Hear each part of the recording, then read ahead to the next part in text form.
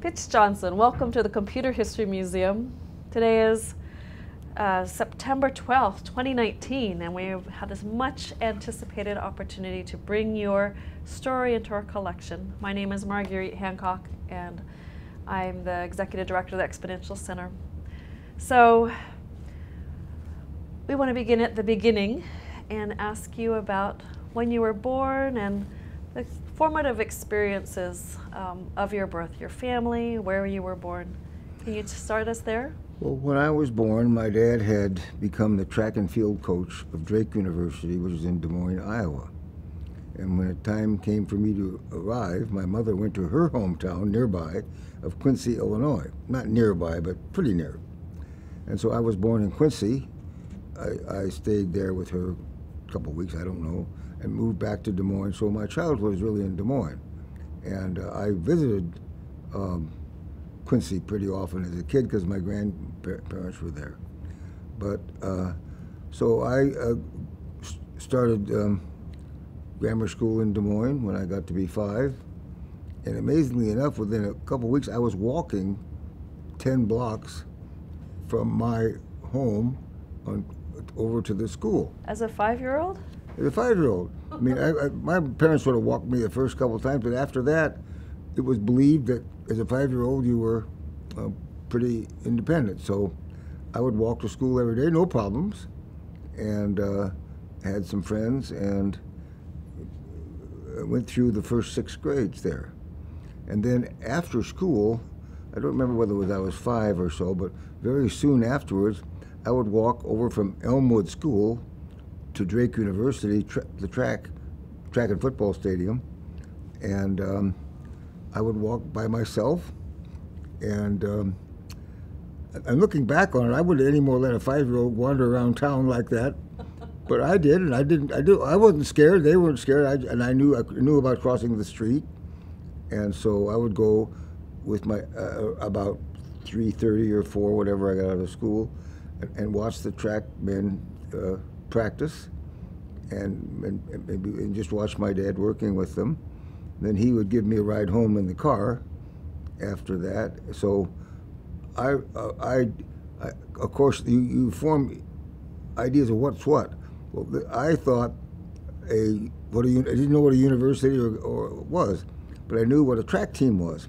And pretty soon I realized there was other sports. that was a big revelation to me. And then finally, I realized well, a couple times I'd walk home from the stadium. And one time I walked through a biology department and I saw some things in jars, preserved animals and stuff. And I said, you know, there's something else around here. I was waking up. It's hard to believe when you're just learning what's what. But I learned that the university was a lot more than the athletic department. And so I became aware of that. But I would say, well, I, I enjoyed school and I studied hard, I did, did fine, I was uh, always thinking that I lived in the track and field world. My babysitters were track athletes. My, my dad's friends were faculty members, though. Then I began to realize that, and in those days, I would say the coaches were much more integrated with the faculty. And the president of Drake University, whose name was Morehouse, his, his ancestor had discovered Morehouse's comet, by the way. But anyway, I just was a, I just grew up around a track and field environment. Then I began to realize more and more what else was going on. And I did enjoy school, I did well, so I did uh, do that. One interesting part of the first years was um, my father became friends with a local sports announcer whose name was Dutch Reagan. And so they had a, a, a card playing group. There's a game called Pitch I won't describe. And then one of the members also was Henry Wallace, who was a rather left wing, eventually, Secretary of Agriculture under Roosevelt. So it's interesting to think of Dutch, uh, now Ronald Reagan, of course, sure. in the same card group, but they were. And they come over to our house. But um, I was, I was sort of excited about knowing a person who was on the radio, and who, and the, uh, we got to know the sports editor of the Des Moines Register. So when I was a little older, probably six or seven, why Reagan asked me if I'd like to go downtown and watch him broadcast a game. In those days, he would sit there and look at tape in the game between the Cubs and the Pirates, I believe it was, uh, and he would just announce the game as if he were there. I mean, one funny thing was he got behind, so he said, he said, so we'll skip over from the seventh to the ninth inning, and then he'd describe it as if he was there, but if he were there. But uh, then just the next year, I, uh, he went off to Hollywood, and my dad and he stayed close, and so I remember being in L.A. in a hotel room, and I, he asked um, with my dad, and he asked Reagan up, and so I asked him a bunch of questions about the movies. There'd been a movie called Brother Rat, and I asked him how the man got hit in the head with a baseball. He said, "It's made of cork." so I don't want to go on too long, except that uh, that he's the only president I've known well. And then when my dad was many years later was, and he was governor, my dad was dying uh, of, of cancer. Why? he wrote my dad the most beautiful letter of friendship, mm. and he didn't get there in time, but my mom got it. It meant a lot to her, and I still have that letter. Do you have that? Must mean a lot to you. But anyway, so uh, those first 12 years, where I was beginning to learn lots of stuff outside of the track, mm-hmm. although I kept my, my focus. And I dreamed, my dad would be an Olympic athlete. He was a hurdler in 1924, the Chariots of Fire Olympics. So I, I just I guess, dreamt or hoped I would be of that stature. So then in 1940, my dad got offered the track and co- track field coach at Stanford, and so we all came west in 1940. How was that to move from Illinois to a new state and to move from Drake to a new university? Well, from Iowa, basically. Illinois was the birthplace, but oh, Iowa. excuse me, from Iowa, yeah. So um, it was quite a change. We first moved to Los Altos Los Altos, a place called Loyola Corners, but it was too far from the school. The athletes couldn't come visit, so my, we moved to Palo Alto in 1941. One part of the living in Los Altos, I was on the banks of Permanente Creek. Mm. And Permanente Creek was called Permanente by the Spanish because it ran all year. And so they, they built a, it, it, historically, they, they started a cement company up Permanente Creek and they, they call it Kaiser Permanente, and it developed a health care plan. Later on, when Kaiser adopted the health care plan for their whole company, they liked the name Kaiser Permanente. Mrs. Kaiser apparently liked it. So I, even today, I sit down with people from Kaiser Permanente, and uh, one time at, with the president, they weren't really aware of why Kaiser Permanente is called Permanente, from a creek name which the Spanish had. So then we moved in 1941 to um, Palo Alto in the summer. And of course, in 19, uh, in December, a kid from next door came over and said the Japanese have bombed Pearl Harbor. Mm. And uh, what did you I, I, hardly knew what Pearl Harbor was. Yeah. I learned pretty fast, and then we started having blackouts and all that stuff. And this kid enlisted almost immediately. He was a high school kid, mm -hmm. senior.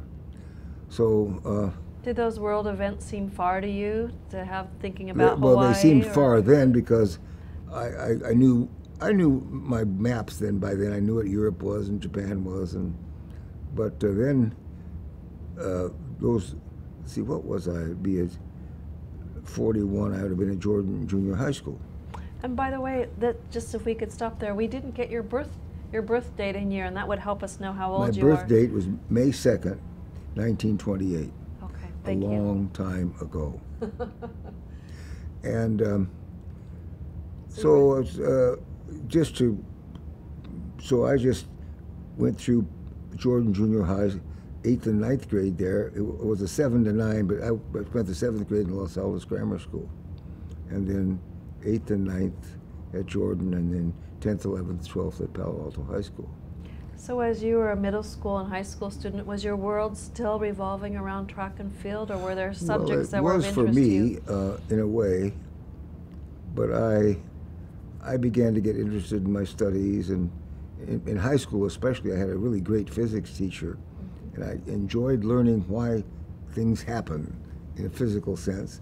And I had some very fine teachers, including a, a, a lady named Louise Heatwall, who was really tough-minded about writing well, and so I, I have a lot of I don't have them now, but papers were marked up pretty clearly with red pencil.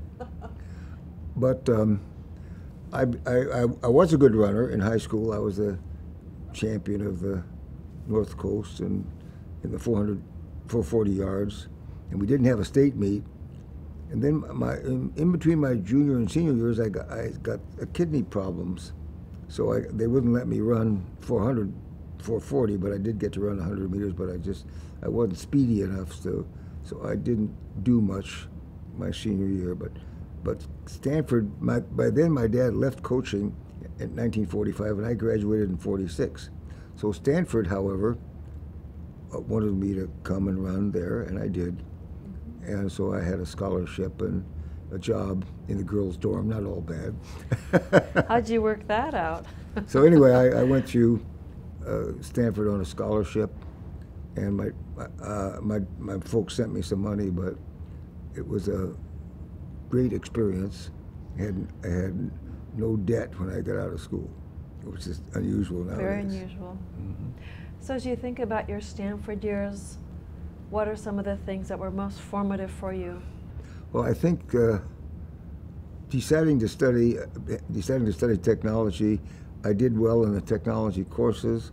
I became a mechanical engineer. I thought of majoring in physics because uh, it was the atom bomb time and all physicists were all the rage. But I, I just realized I really wasn't Robert Oppenheimer or close to it. But I did study mechanical and I got good grades. And then when I got to be a senior, I decided I didn't want to be a design engineer, but I did apply to Harvard Business School. And uh, so the, it was interesting about that, though. I got into Stanford Business School, but Harvard, uh, so I had an interview. I said I didn't really know anything about business. I just wanted to go to business school to learn what business was. A very honest answer. Mm-hmm. And so I got a little thin letter later on saying, you don't seem focused to us. Uh, and so uh, we uh, think you should uh, learn more about what you want to do before you come here. So I went back east to Washington, D.C., by the way, to run in the national track meet. So after that meet, I got on an airplane, went up to Boston, and asked to see the admissions director, which I guess you could do in those days. He saw me, and I said more or less, "It's I'm really, it's really strange to me you rejected me. I'm a, a national class athlete. I got really good grades, and I, uh, I, I was very candid in my description in my interview.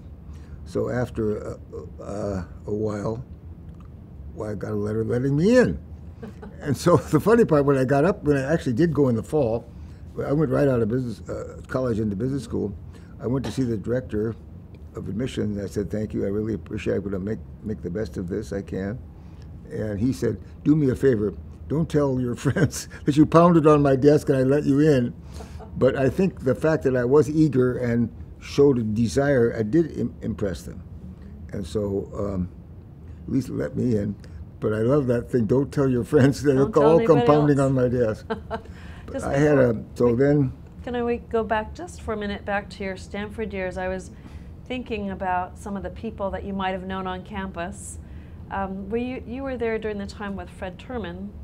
Yes, Fred Terman was my dean. Was your dean, and I got I, to know him. Could you talk about your interaction with him? Yes, I can. He was um, he was a very interesting man. I hear he was a tough bird later as a as a provost, but as a dean of uh, of engineering, he was very accessible. I mean, you could. I only wanted to see him, I think, twice during my whole time there. But I saw within a day he would say, "Well, talk to my you know assistant," and she said, "Oh yeah, can you come in tomorrow at two o'clock and all that." So he was not unavailable at all. And two two things happened uh, um, in my interview with, with, him. I I went to see him. Um, the first time, well, no, the first time I went in to see him, oh, to say we had to take a course called Western Civilization. Turned out to be one of the most valuable courses of my life, actually, in terms of living your life. So I said, Do we really have to take this soft stuff? He said, Yes, you do. he said, you'll, you'll realize someday how important non-technical training is to you. And uh, so I accepted that, of course. And another time, I think I won't mention the name, but I went to see, I said, uh, the culmination of engineering training is supposed to be machine design. And um, I told him that the professor we had, whose daughter was in my high school class, by the way, um, was not uh, was concentrating on the wrong things and only didn't let us choose our own thing to design. He, he only gave us three things to work on. My, uh, so a garage door hanging mechanism, and so he he'd mark us off for not making good arrows on our drawings all that stuff. So I wanted to say, look, this is this course should be the culmination of the experience of all the courses you're ready for, machine of, of, uh, of uh, that you that you would take in an engineering course. So he said, "Well, the professor, it's his, his last year here." I said, "Also my last year here." so uh, he he laughed a little bit, but um, I would say the thing I'd say about Fred Terman was, uh, although I, I realized it's important much later, uh, he was accessible and, and listened to what the students had to say. Very, very important quality. Thank you. And you had an association with Stanford, which later became such a powerhouse for technology and entrepreneurship. But at the time, those th- it was that wasn't yet part of. Uh, was that yet part of Stanford, or what was the well, kind of climate um, of by the then, uh, Bill Hewlett lived across the street from us in Palo Alto, and I don't know the exact formation date of Hewlett Packard. It was before then. I think it was in the early 40s. It's 19 January 1st, 1939. 39, okay. Yeah. That's ve- very early 40s. Yeah. And so Bill Hewlett and, uh, uh, and uh, Dave Packard had already started it. And I just knew Bill Hewlett a little bit from being a neighbor. But he, they, by any measure, are the founders, along with Fred Terman of Silicon Valley. And uh, so I wasn't aware, I don't think, of the existence of Hewlett Packard. I guess that maybe I was by the time I got out of school.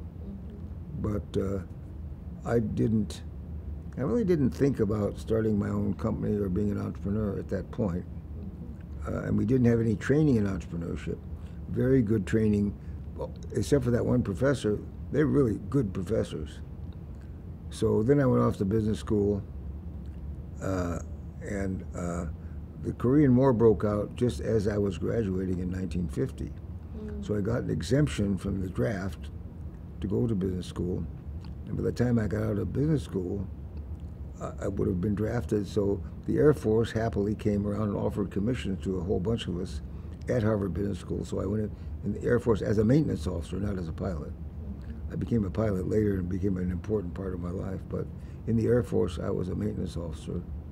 And of course, Before we go ahead to your your experience there, had you had a job um, during your? Do you remember what was your first job? well, Even my as a- first job, summer, they were summer child or as jobs. So I worked in a boys' job? camp um, for several years. What was your role there? I, I was well, I was two things. The first couple of years, I was a counselor. I had a cabin full of boys, and uh, two of whom were the Crosby twins. Bing Crosby had twin boys, and they were in my cabin. Oh, really? And they would always try to fool me, pretending like one was the other one. And uh, I didn't meet Bing because of that, but I did meet the two boys. And we had other. The the camp was based in Southern California, so we had a lot of movie people there. Uh, then then though, I had a chance to become like an amateur cowboy, so I, got- I got assigned to the corral and, and took help take care of the. There was a real pro cowboy, but I, I, I, I knew how to ride, but I learned to ride and take care of horses and and um, um, um, so I'd say I spent at least two summers doing that. I would I would be in charge of the horses as the boys went on a pack trip.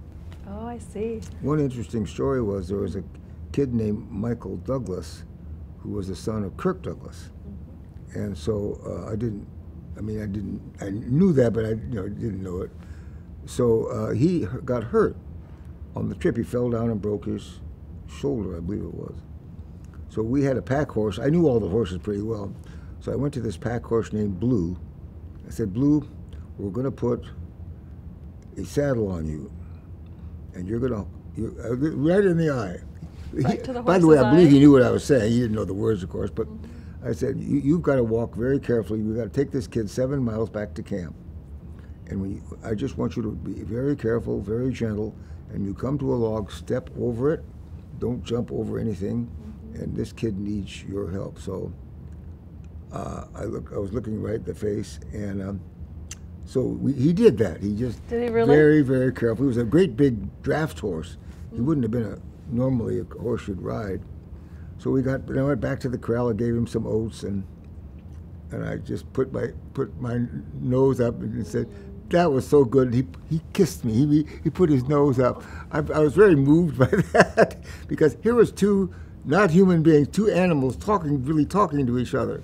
And the kid, by the way, uh, uh, got away and got. I don't know. I think he became a.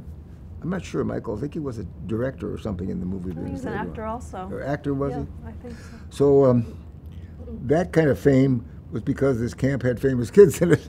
But the relationship with Blue was, was, was a, I've always remembered that. I mean, and since that time, I've been around horses a lot, and in a camp my wife and I go to, and I've always sort of felt you, you, you, they're people. You know some of them, you don't know some of them. Some of them are nice, and some of them ain't so nice. but uh, but um, I think uh, high school. So what happened athletically? I was was a number two in the Pacific Coast and ran a dumb race. I'd have won it, and uh, I think I anchored our mile relay championship team. But it, was 1950 was in between Olympic years, so I, I wasn't really anywhere near ready. And then I thought, well, I'll, I'll go to business school and work out like hell, and maybe I'll get good enough to make the team in 52. Well, once I got to business school, I, I was so loaded with work, I really couldn't work out well Was enough. that a conscious decision for you to leave behind Conscious, this yeah. I- life of I track had, and I had to make a choice, although I don't think I'd have made it anyway. I did run a little bit for the Boston Athletic Association, a couple of indoor meets, but I just, that was the point in when track and field as a personal activity became less important to me. It always was high, high on my list.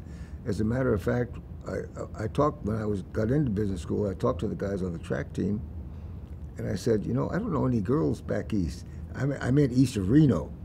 So luckily, one of them, my, my wife of 65 years, gave me her name, and so I uh, went to one day. Uh, she was living in New York, so she was going to Vassar College. But one time, I she, I was home there on a weekend. I called her, and she was home. So I said, "May I call on you?" Thought I better have a look before I asked her out, and. Uh, you didn't trust Kathy- your you didn't trust your friend's suggestion. Kathy doesn't mind my telling that story, I don't think. So um, I won't. It was just, it, it was not a whirlwind romance at all. One thing that causes smiles now, when your girl came to visit you, you had to find a place for her to stay in Boston, and uh, I did. And so we, we went out quite a bit, but it took only, it was three years later that we got married, so it was quite a extended and not easy, I would call it, romance. So you married your Vassar girl. That's um, great. Before we get to Harvard, I think you also did. You have a chance to work in some steel mills. Well, that was, yes, Was one that before summer. your Harvard days? but one summer, because my dad went to work for a steel company as, a, as managing their agricultural properties, uh, and so I did work in a mill, and I was in the open hearth down in Fontana one summer, and I was fascinated by that. So when I was graduating from business school, uh, Inland Steel came around looking for management trainees. So I interviewed them. Of course, I said I have to go in the Air Force now, but I'd be interested in working in the mill. I don't, I don't want to be a management trainee. I'd like to be a to work in the open hearth. Well, the guy was completely fascinated by this at Harvard Business School, and so about a month before I got out of the Air Force, I got a letter from Inland. It said, "Do come to see us. We'd like to consider what we talked about two years ago." And so I uh, moved my bride then from Manhattan to East Chicago, Indiana, and I got a job working in a steel mill with the end point being uh, I'd become a manager. But one very important thing happened. My first day in the mill, uh, the superintendent, which is a big deal, guy runs a department. I mean, it's, it's hard to explain what a big deal. Even with unions, the men depend on him. Guys go to, if a guy gets caught at night, he'll call up the superintendent to come get him out of jail. Is that? I don't think it's that way anymore, but that's the way it was in those days. So the superintendent uh, sits me down, a guy named George Lawton, and he says, you know, Pitch, uh, we've had college kids here before.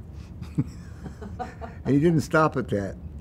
He said, we're going to teach you how to make steel, but I'm not going to do it. The guys on the floor are going to do that. So I want you to spend the next several months getting to know them. You, I don't care what you learn a thing about steel. If you get to know the men and, and, and start working with them and they enjoy being with you, you'll learn how to make steel from them. About the best piece of advice I can, I, I was the eager college MBA type of guy. I was going to go, he said, easy, easy, get to know the men. And I've, I've felt ever since then when I'm in a new situation, take a little bit of time to get to know the people that you are going to work with.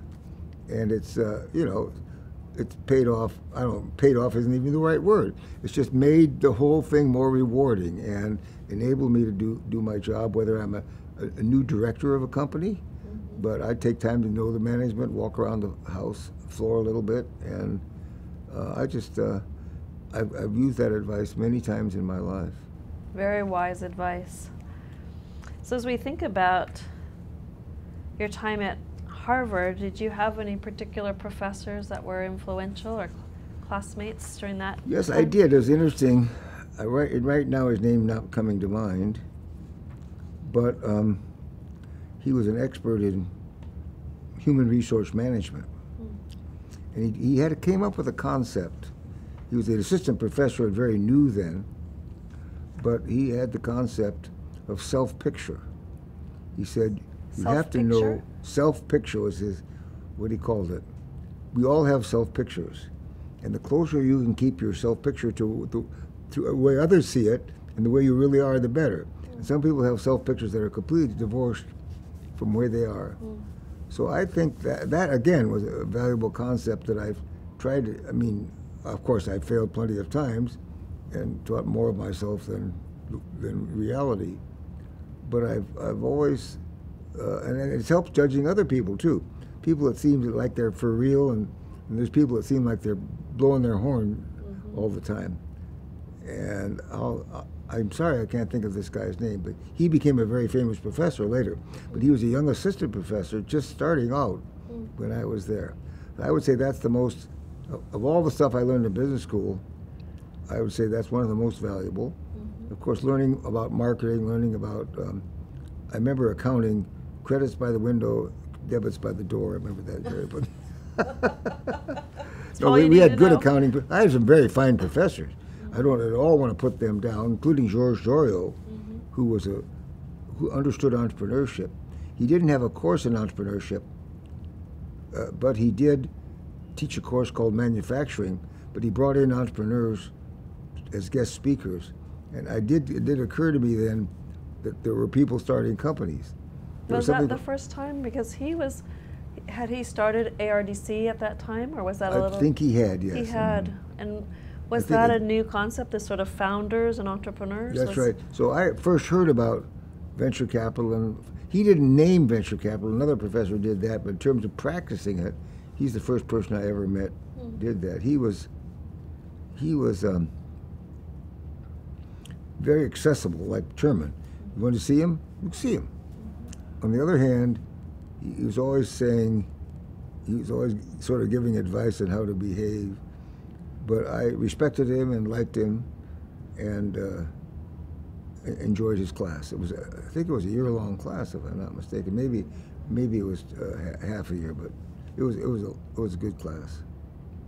When you heard him talking about financing risk, in a sense, risk finance for early companies. Did that strike you then, or would your love for venture it capital did, it struck come me later? as something I didn't know anything about. I knew people started companies, and uh, but I think Mrs. Field had her, and she was a cookie, made cookies, and remember she talked about starting her business, and a lot of other ones. So The answer is no, it hadn't struck me. Of course, I knew people started businesses, but I thought maybe drugstores and mom and pop grocery stores and stuff, th- th- those are businesses. But yeah, the, the idea of technology becoming uh, one thing Doyle did say was very valuable is, is in this is you have to think of markets. People think of technology, it's very important, but technology doesn't mean a thing if you, if you can't, somebody doesn't want it or can be made to want it. And so I think he pointed out the importance of understanding the market when you're starting a company, and that was a very valuable piece. It's not obvious even now to some people. well, we started to talk about your time in the Air Force, and you may not think of yourself as a military guy in particular, but you were there for two years. What difference two did years, that? Yeah. yeah. What difference did that have you, for your experience there? One thing, I learned several things from being in the military. I think you, you, you, it's the first time you have a sense of being part of something that's very large, mm. much bigger than you. Mm. And unlike everybody else will tell you the same story, but the first time you're in a parade and you come to present arms and they play the national anthem, it gets you. Mm. I've heard the national anthem many times, but I was sort of like it was introduction to the military, and it was just moving. And I'm not too sentimental a guy, but but I've talked to other people. Just about everybody has that same. The first time you come to present arms and you hear the national anthem, you suddenly realize you are something much, much bigger than you, and you're devoting yourself completely outside of yourself. And I think that's something we all have to learn at some point. Yes, very powerful, and important.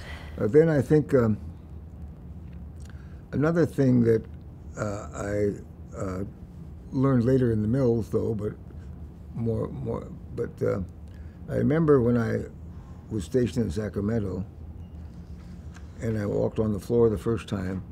A master sergeant. We we have to senior enlisted men run the military. I mean, yeah, the big guys make all the big decisions, but they the make things happen. So this master sergeant came up and said, "Welcome, Lieutenant Johnson. We're glad to have you here. I've got the best mechanics in the Air Force here." So uh, he said, uh, just let us know what you want done and we'll do it. Which then the message was, don't tell me how to do it. so that's a pretty good lesson that I learned. Just I, I, sort of knew it, but he emphasized. He didn't say the words, but I could tell right away he wanted to be left. He wanted to know what to do and uh, what job. And he, most of it he didn't know anyway because it was a production line of uh, inspection and repair. But I think that. Um, that was uh, later on when I went to work in the mills, uh, just shortly after that, uh, sort of the same lesson. Well, let's talk about you went. You were saying that you returned to Inland Steel there. I'm um, sorry. You let's talk about your time at Inland Steel. You returned afterwards. They had this position waiting for you, and you stayed there for quite a while, right about. Yeah. What's up? So what happened was, they they don't get many business school guys anyway who want to get into production. In business schools, I wanted to be a corporate executive. So you could get be a corporate executive by marketing, finance, and production, and you know various. And I thought production would be the right one for me because I had enjoyed my earlier time. I just liked the smoke and the flames and the kind of guys that, and women that worked in the mill. So I was attracted to it, and so I I found it satisfying. Shift work is um, unusual because you you work uh, days, then you work midnights, and then you work four to twelve. But sometimes you have 80 hours off the way the cycle works. So we, Kathy and I, were, didn't have any kids to start with. We'd go into town or something, but um, I would say those mill years were my first exposure to actual professional life that I thought I was going to pursue. However, Bill and Phyllis Draper, Bill came to work as a sales trainee, mm-hmm. and he took the he was in the you know the overall management course, but we moved into, they had something called company houses they could provide to young executives and senior uh, hourly guys. So we lived near each other. And Bill and Phyllis and Kathy and I became quite good friends. And I think I'll skip over, but we did things together. And uh, they had, Becky was already born, but Tim was yet to come. And uh, uh Polly was yet to come. And um, so move forward from from 1954 until 1959. Bill's father had started a pioneer venture firm in Palo Alto called Draper, Gaither, and Anderson. So Bill left at that point to go to Palo Alto, my own hometown. So uh, that big game that year, I went out and introduced him to my friends, who are still, those of us who are still around, became friends of Bill's. And then we came out for the big game in 61 and stayed with them, what we loosely call the big game. Yes. and um, Bill and I, I think it maybe, I don't he, he really loved his father and liked that working, but he wanted to be on his own. So I think he, he may have suggested, or maybe we just, it was natural. So we sat down at his kitchen table, like hundreds of kitchen tables in Silicon Valley, and cooked up this venture capital firm. How did that conversation go? Well, um, uh, it went something like this. The government now has a program called Small Business Investment Companies. And if we can get together a little bit of capital, uh, we can form an SBIC. A little bit of capital meant between us we had to have 150, so 75 each. So uh, I had, uh, so I, my father-in-law had a great job and, and, and so I went to him with my in my mouth and said I'd like to borrow fifty thousand dollars, and he said, uh, "Okay, well, tell me about." I mean, I told him what it was, and so uh, I was able to do that. I had saved up twenty-five uh, from investing, mostly in Cessna aircraft, by the way. I'd made some money in the stock market, so we I got my seventy-five together. Bill did more or less the same thing, I think. And so, it, the, the, so I, I, figured I could do this. I said, Bill, I don't know if I can get together the money, but I did. And so, in, in uh, the fall of '62, or summer of '62, with my heart in my mouth, I left the mill because I, by then I was assistant superintendent of a shop. I won't go through all the promotions then, but I, I spent three or four years working shifts, and then I became a general foreman, which was days, and then then assistant superintendent just for a brief time. So the, I had been accepted in the mills, and I took this skinny track athlete and befriended him, if I could put it that way. And uh, so I really hated quitting, but I realized that I had options on 42 shares of Inland, and I was, I was making, I don't know, 1,200 a month, pretty good pay. Mm-hmm. And but I I just thought here's a chance to be on my own, an entrepreneur in a sense, and to make some capital and to be on my own. So I really did have my heart in my mouth, and they wished me well, of course, and I went off on my own. That was a big risk for you. Oh, there was plenty of risk. That's right, but I I somehow figured we'd do it. I just knew somehow that we could find some deals. First of all, there was very little money around very few deals. So we, we, we, got some, we got some office on Welch Road, if you know where that is. And uh, we got started, and uh, we, we called it Draper and Johnson Investment Company. So we had a, didn't have much of an argument. So Bill became president, I was vice president, because I was junior in the business. Um, I, I hadn't heard before about the source of your $50,000. Can you about your investment in Cessna. You, I know you have a long. No, I, I didn't make that. I made 25. Oh, okay. So Cessna was just getting going, and somebody that they'd taken over Cessna, I think it was called the Blues Brothers, mm-hmm. who, who I tied back in much later in my life. But uh, they um, they took Cessna. I, I had saved up a little, and over the I was I worked in the mills eight years, so I saved up some money. We didn't we had uh, fairly cheap housing, and the kids uh, came along, so they weren't exactly cheap, but they were, and so I, I saved up 25, I call it that, but it was, I would say, probably, uh, if I just kept the cash, I might have had 10 if I got lucky. And uh, so I sold my Cessna stock, got my 25 and 50, and Bill put his in, and I did that in, we started that in 62. So this is the birth of what would become the first venture capital companies here in Silicon Valley before it was even named Silicon Valley. Well, before it was named, but it was not the first by far. Not by far, but by some. By In other words, one Bill of the had early worked, ones his here, parent, worked his father, his father, right? It started Draper, Gaither, and Anderson, Mhm. and it um, it was uh, had the Rockefellers behind it. I think they raised a grand total of five million bucks capital, if I remember the number. Uh, so they had outside money. Bill and I chose a course where we owned the company but owed the government money. And then um, uh, we can talk about some of the deals we did early. But uh, we did a, build a good enough portfolio that a real estate company called Sutter Hill it was wanted to go in the venture business. So a guy named Paul Wythes, as you know of, uh, came to Bill and me, and they.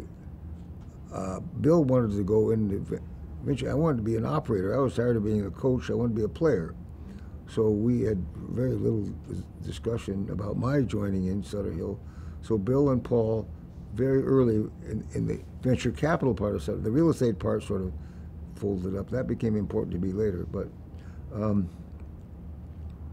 I would say uh, we did enough good deals and we had enough of a portfolio so Sutter Hill was able to buy our portfolio. I was able to pay off all my debts, by the way, That's wonderful. and uh, I didn't. I didn't pay off. The, well, it's a long story. My father-in-law died between the time he lent me the money and um, this event. So I later on gave all his kids, and I, I paid it back and then some. But I, I, but my official debt to the government, and I had a little debt left over from Harvard Business School. My first year, uh, I had borrowed money to go to Harvard Business School because I didn't obviously have a scholarship. The second year, though, they wouldn't let you borrow over twelve thousand dollars, so they I had a grant my second year, so I really didn't owe that much, and I paid that off and paid off the government. So I had a couple hundred thousand bucks clear, first time in my life by a long way, and so I began looking for a company to buy, but I ended up finding some deals to do on my own. But Bill and I had a good little portfolio, uh, and uh, we um, were. Do you want to talk about your first investment that you made together, or any of those investments that you did together well, the Bill? first thing we did was a, with a guy named Joe Julie called Illumitronic.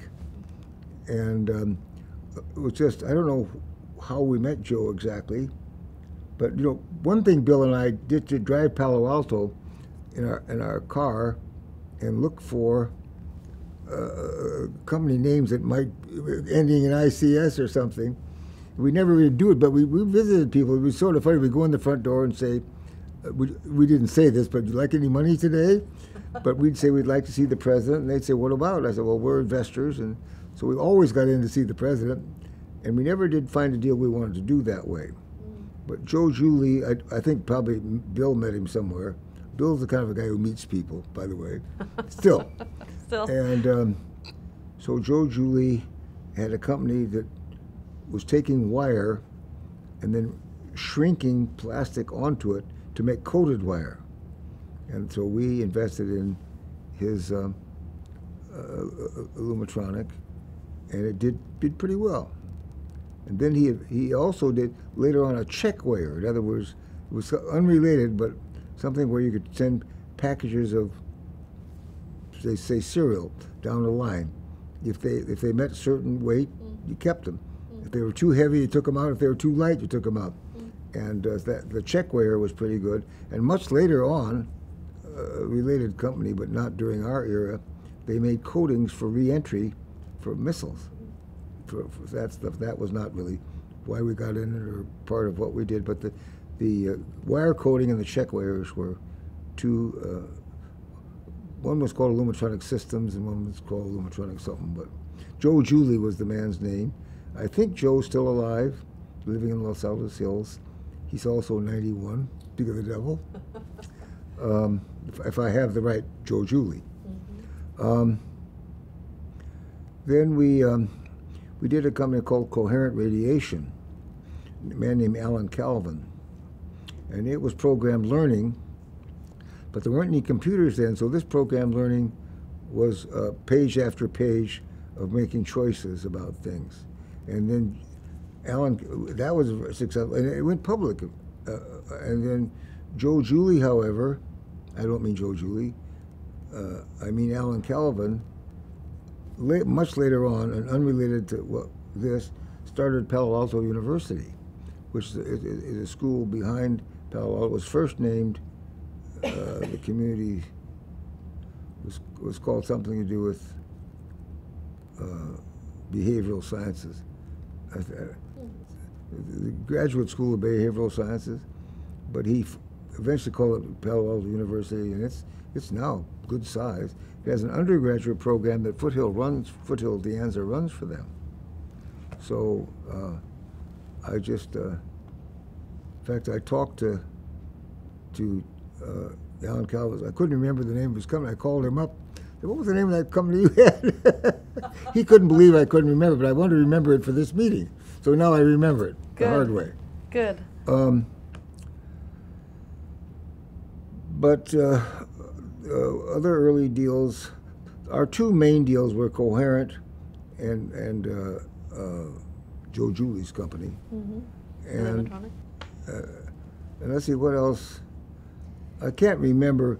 We did two or three other deals. We didn't do any bad deals, which is unusual. That is very unusual. And uh, so, but when Sutter Hill came along in 1965, uh, they bought our portfolio, and we both went on our own. He went with Sutter Hill, and I went on my own.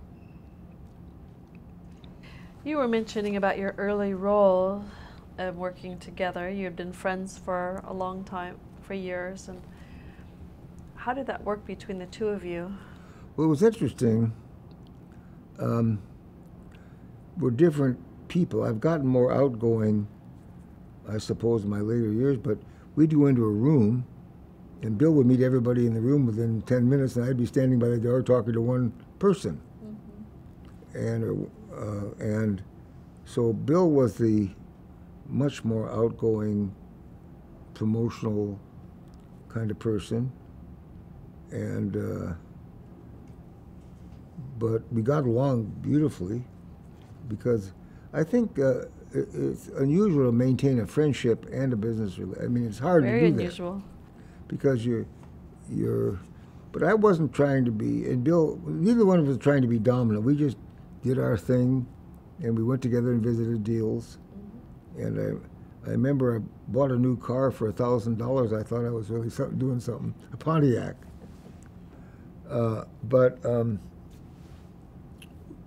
you know, we had our first office on Welch Road, and the lady next door came in and said Kennedy's been shot, and that was another awful thing. But Bill and I, uh, so we stayed friends. Um, when we went our separate ways, really, but we saw each other all the time in a family way, and then uh, uh, tried to get Bill and, and me involved in Intel. That didn't work because Bob, we were friends of Bob Noyce. I was especially a friend of Bob Noyce from a company called Coherent. Um, and how did that story play out? The story of, of uh, well, Bob Noyce, I've been on a board called Coherent with Bob. We were both pilots, and we, we talked about airplanes like all pilots do a lot and also he was a good director of, of the company, and, and, and Coherent was a, a, deal that I did very soon after Draper and Johnson, but not during Draper and Johnson. Mm-hmm. So um,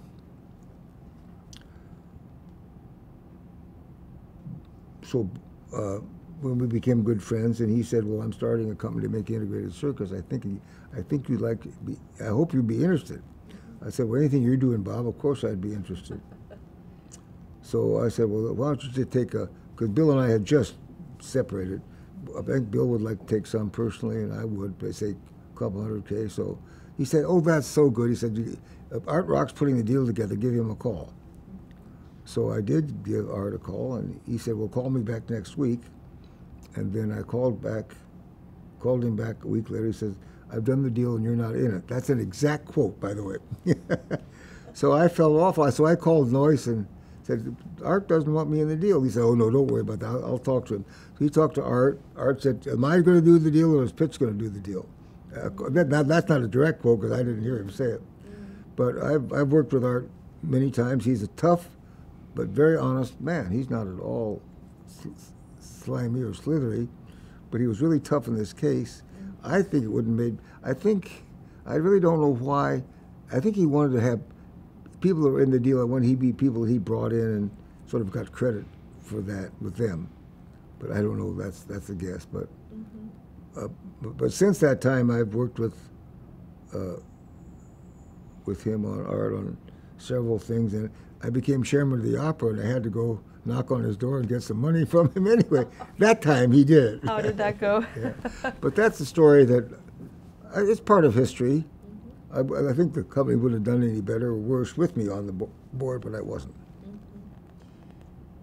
Well, you mentioned that you had had a, a desire to to be an operator, to be the player and not the coach. And yet, when you started asset management, you went back into investment. How what you, happened was how did that work? I began to look for for a company to buy, but I found deals to do.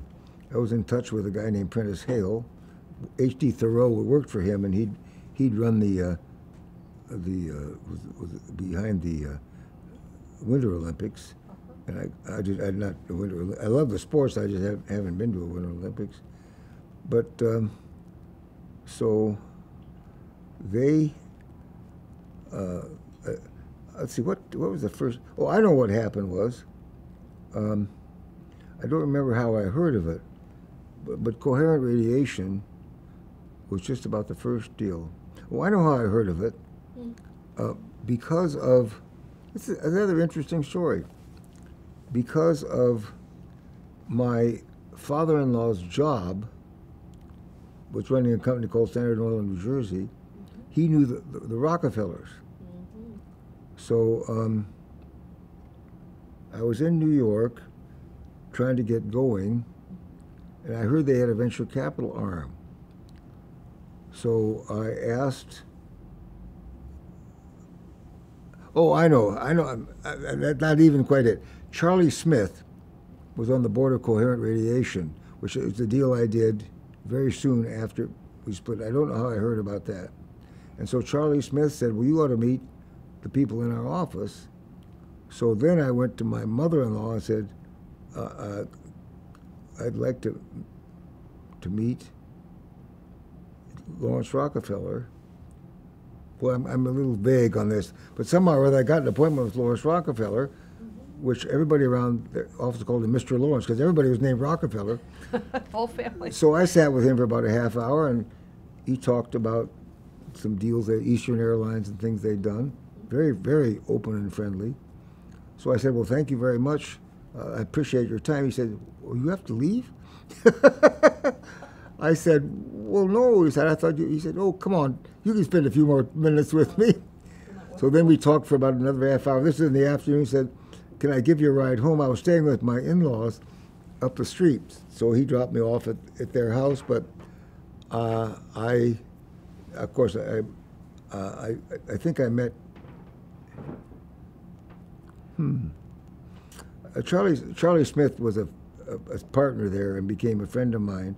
I believe it was because of coherent radiation. I've got my timing a little mixed up here. But anyway, uh, I, was, um, I was aware of the Rockefeller Family and Associates and their activities. And so uh, I, I, just began to hear about deals and do them myself. I had a couple hundred thousand left over from paying off my debts, and I'd never had any capital before.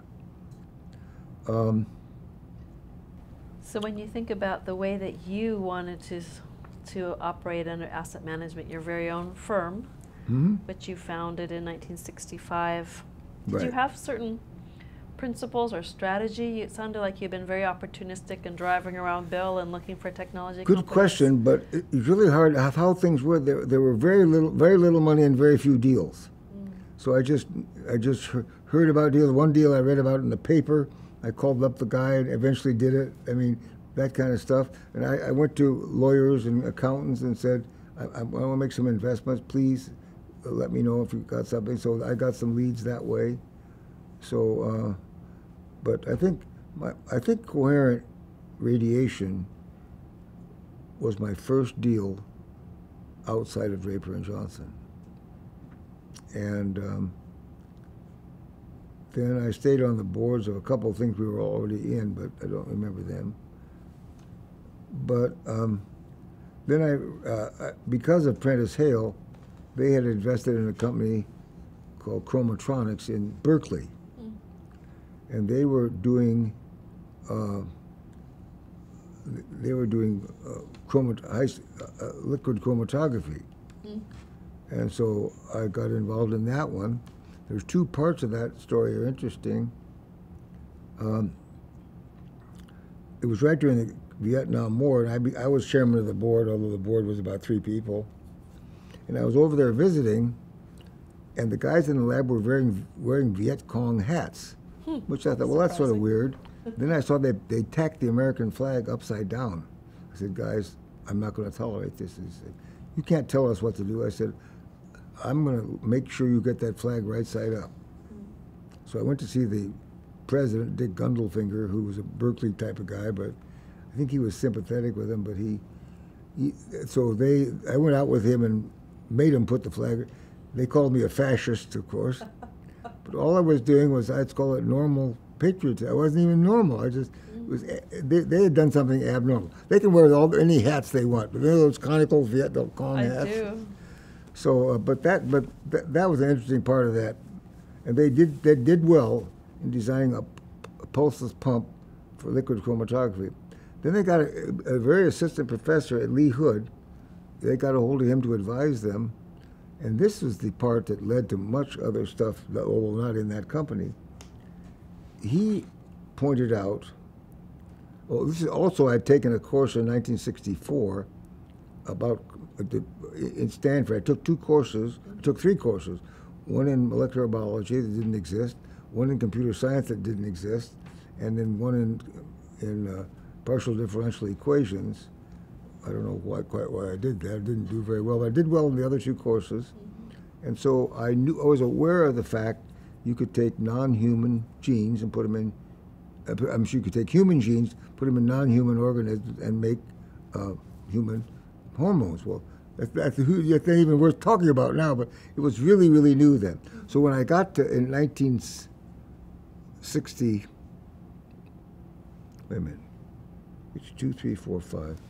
So when I um, got to meet the the uh, um, guys at Cromatronix, they had, they had begun a contact with an assistant professor named Lee Hood at Caltech, and he had, had th- told them, you can probably uh, analyze proteins and figure out what DNA or RNA com- comprises them, and uh, so wh- what genes do. And then he had the idea that you could assemble proteins, and finally the idea that you could assemble DNA into uh, into genes, and they they started doing some of this stuff, and he of course he became a famous guy is now the head of a of a, of a research lab in, in, in Seattle, but they didn't. Well, they, they were acquired. I can't remember by whom, but who was in something was interested in all this stuff, and so Sure. I got out of that that way. But I think uh, I think Cromatronix was among the first things I did as own. That and coherent radiation were. Well, in your your time as a VC, I read in one place that you the count of investments you had made had topped 250. Is it even higher today, or is that a good Mm, estimate? Well, you know, the last few years, uh, what happens now is we have a venture fund that's part, sort of part of our company. And to start with, Kathy and I were the only limited partners. And to start with, I was very active in doing deals. Then I became veto power only, and then finally, we just put some money with them, and they do it. But they now have some outside investors, and they're having they're putting a new fund together right now. As a matter of fact, we'll be investors in it.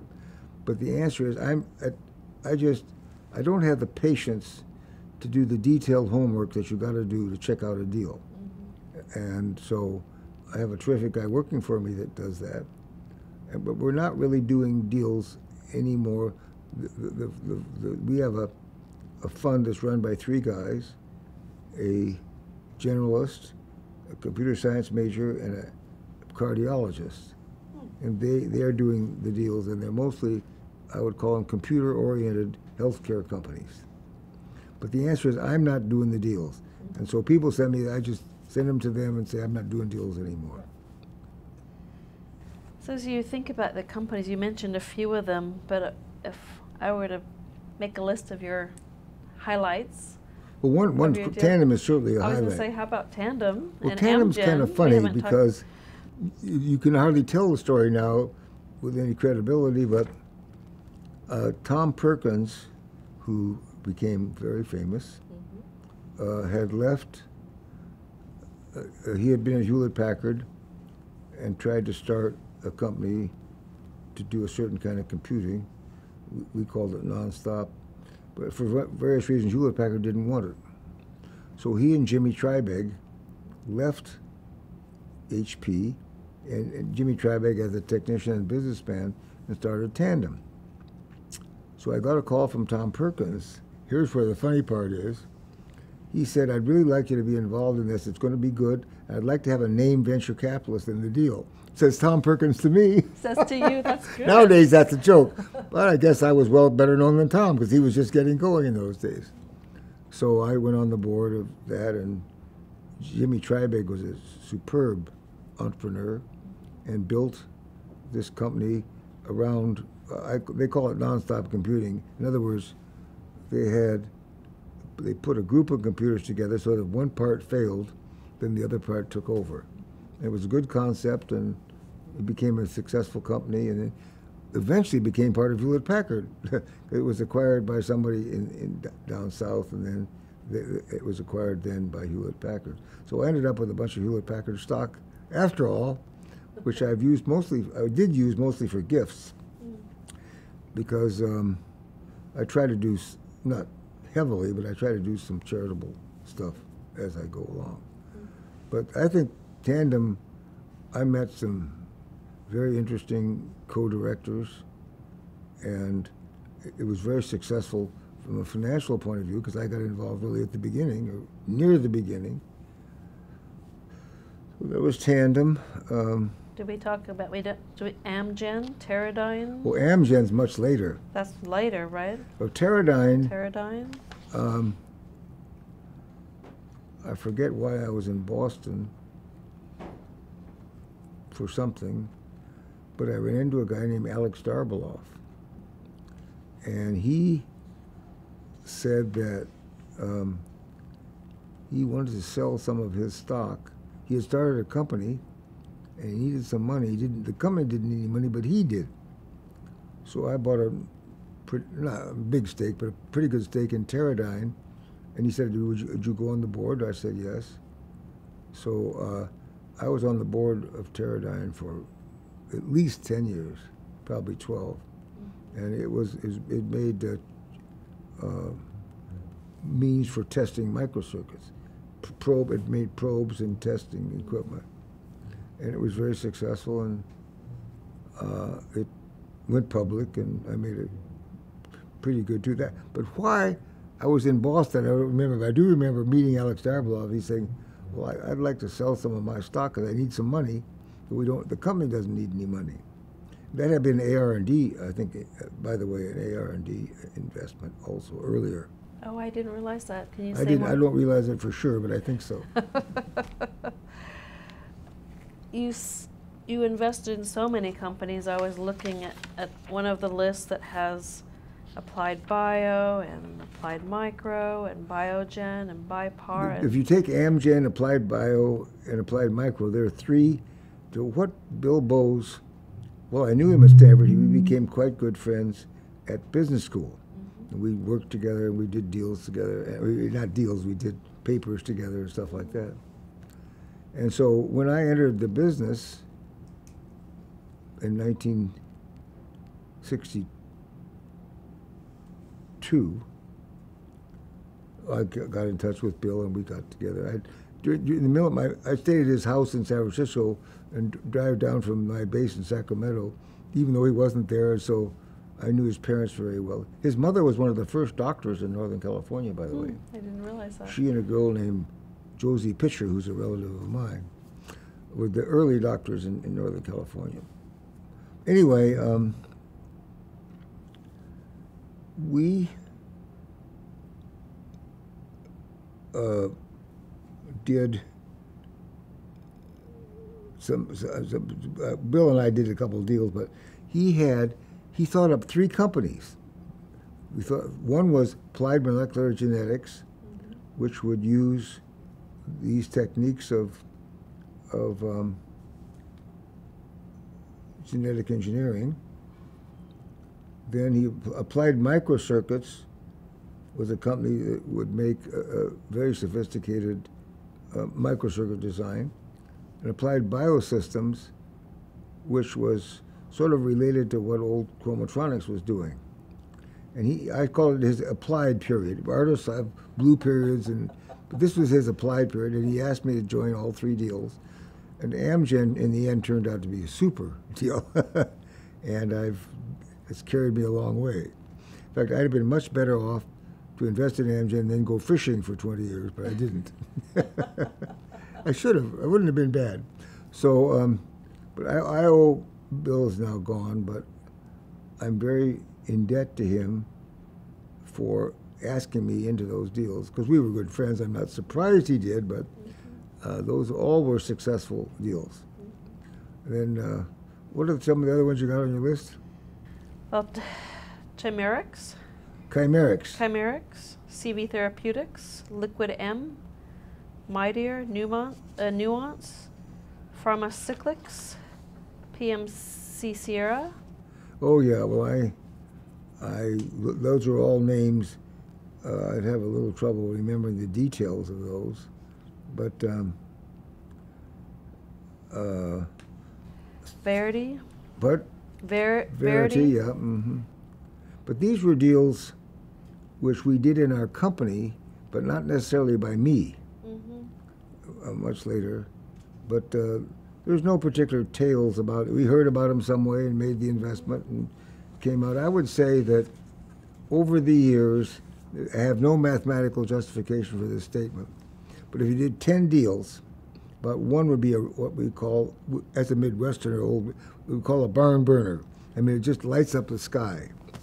And then there's about three deals that are good standard performers. They make five, ten times your money or maybe six. So that's about, oh, accounts for about a little less than half the deals.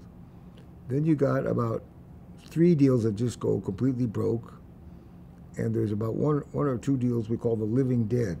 They don't, they don't succeed, they don't fail, and they just sit there and take up your time and money. You can't kill them, huh? Now, I can't give you the numbers that justify that, but that's about the way I've seen it over over many years. You've played these roles of being investor, sometimes lead investor, sometimes you know, joining a deal. You've also been on boards, sitting with other different people. What are some of the approaches? You know, each good investor or venture capitalist has certain principles. Do you go for the jockey or the horse? You know, I look for certain attributes. What What are the things that guided your investment philosophy? I'd say invest uh, entrepreneurs who show several qualities, the lead quality of which is understanding a market, understanding what people want or can be made to want.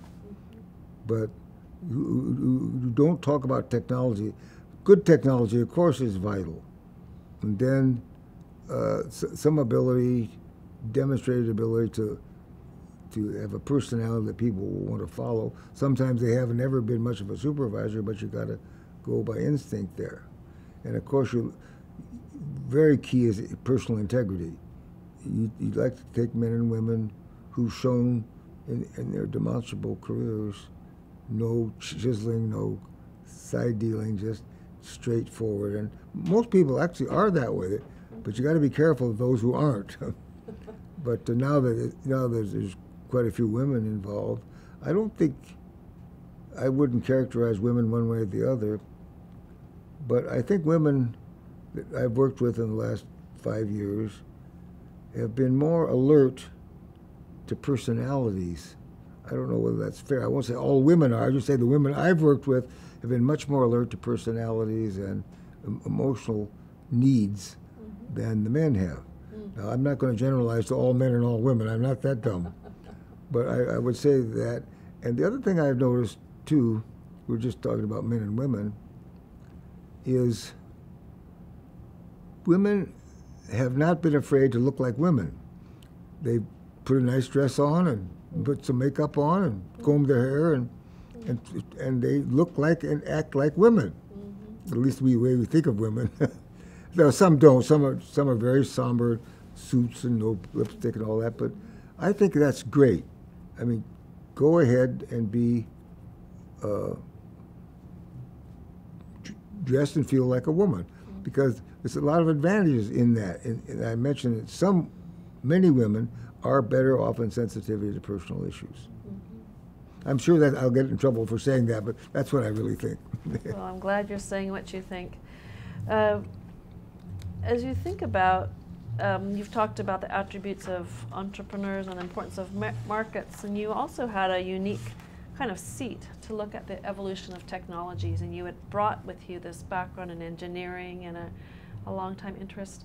How would you characterize the Valley's evolution in technology and the role that you helped build it and you were on a front row driver's seat in its Well, I haven't done much personally to developing technology.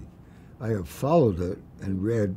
I think I've kept up with what's going on. Lately, it's harder and harder. Sure.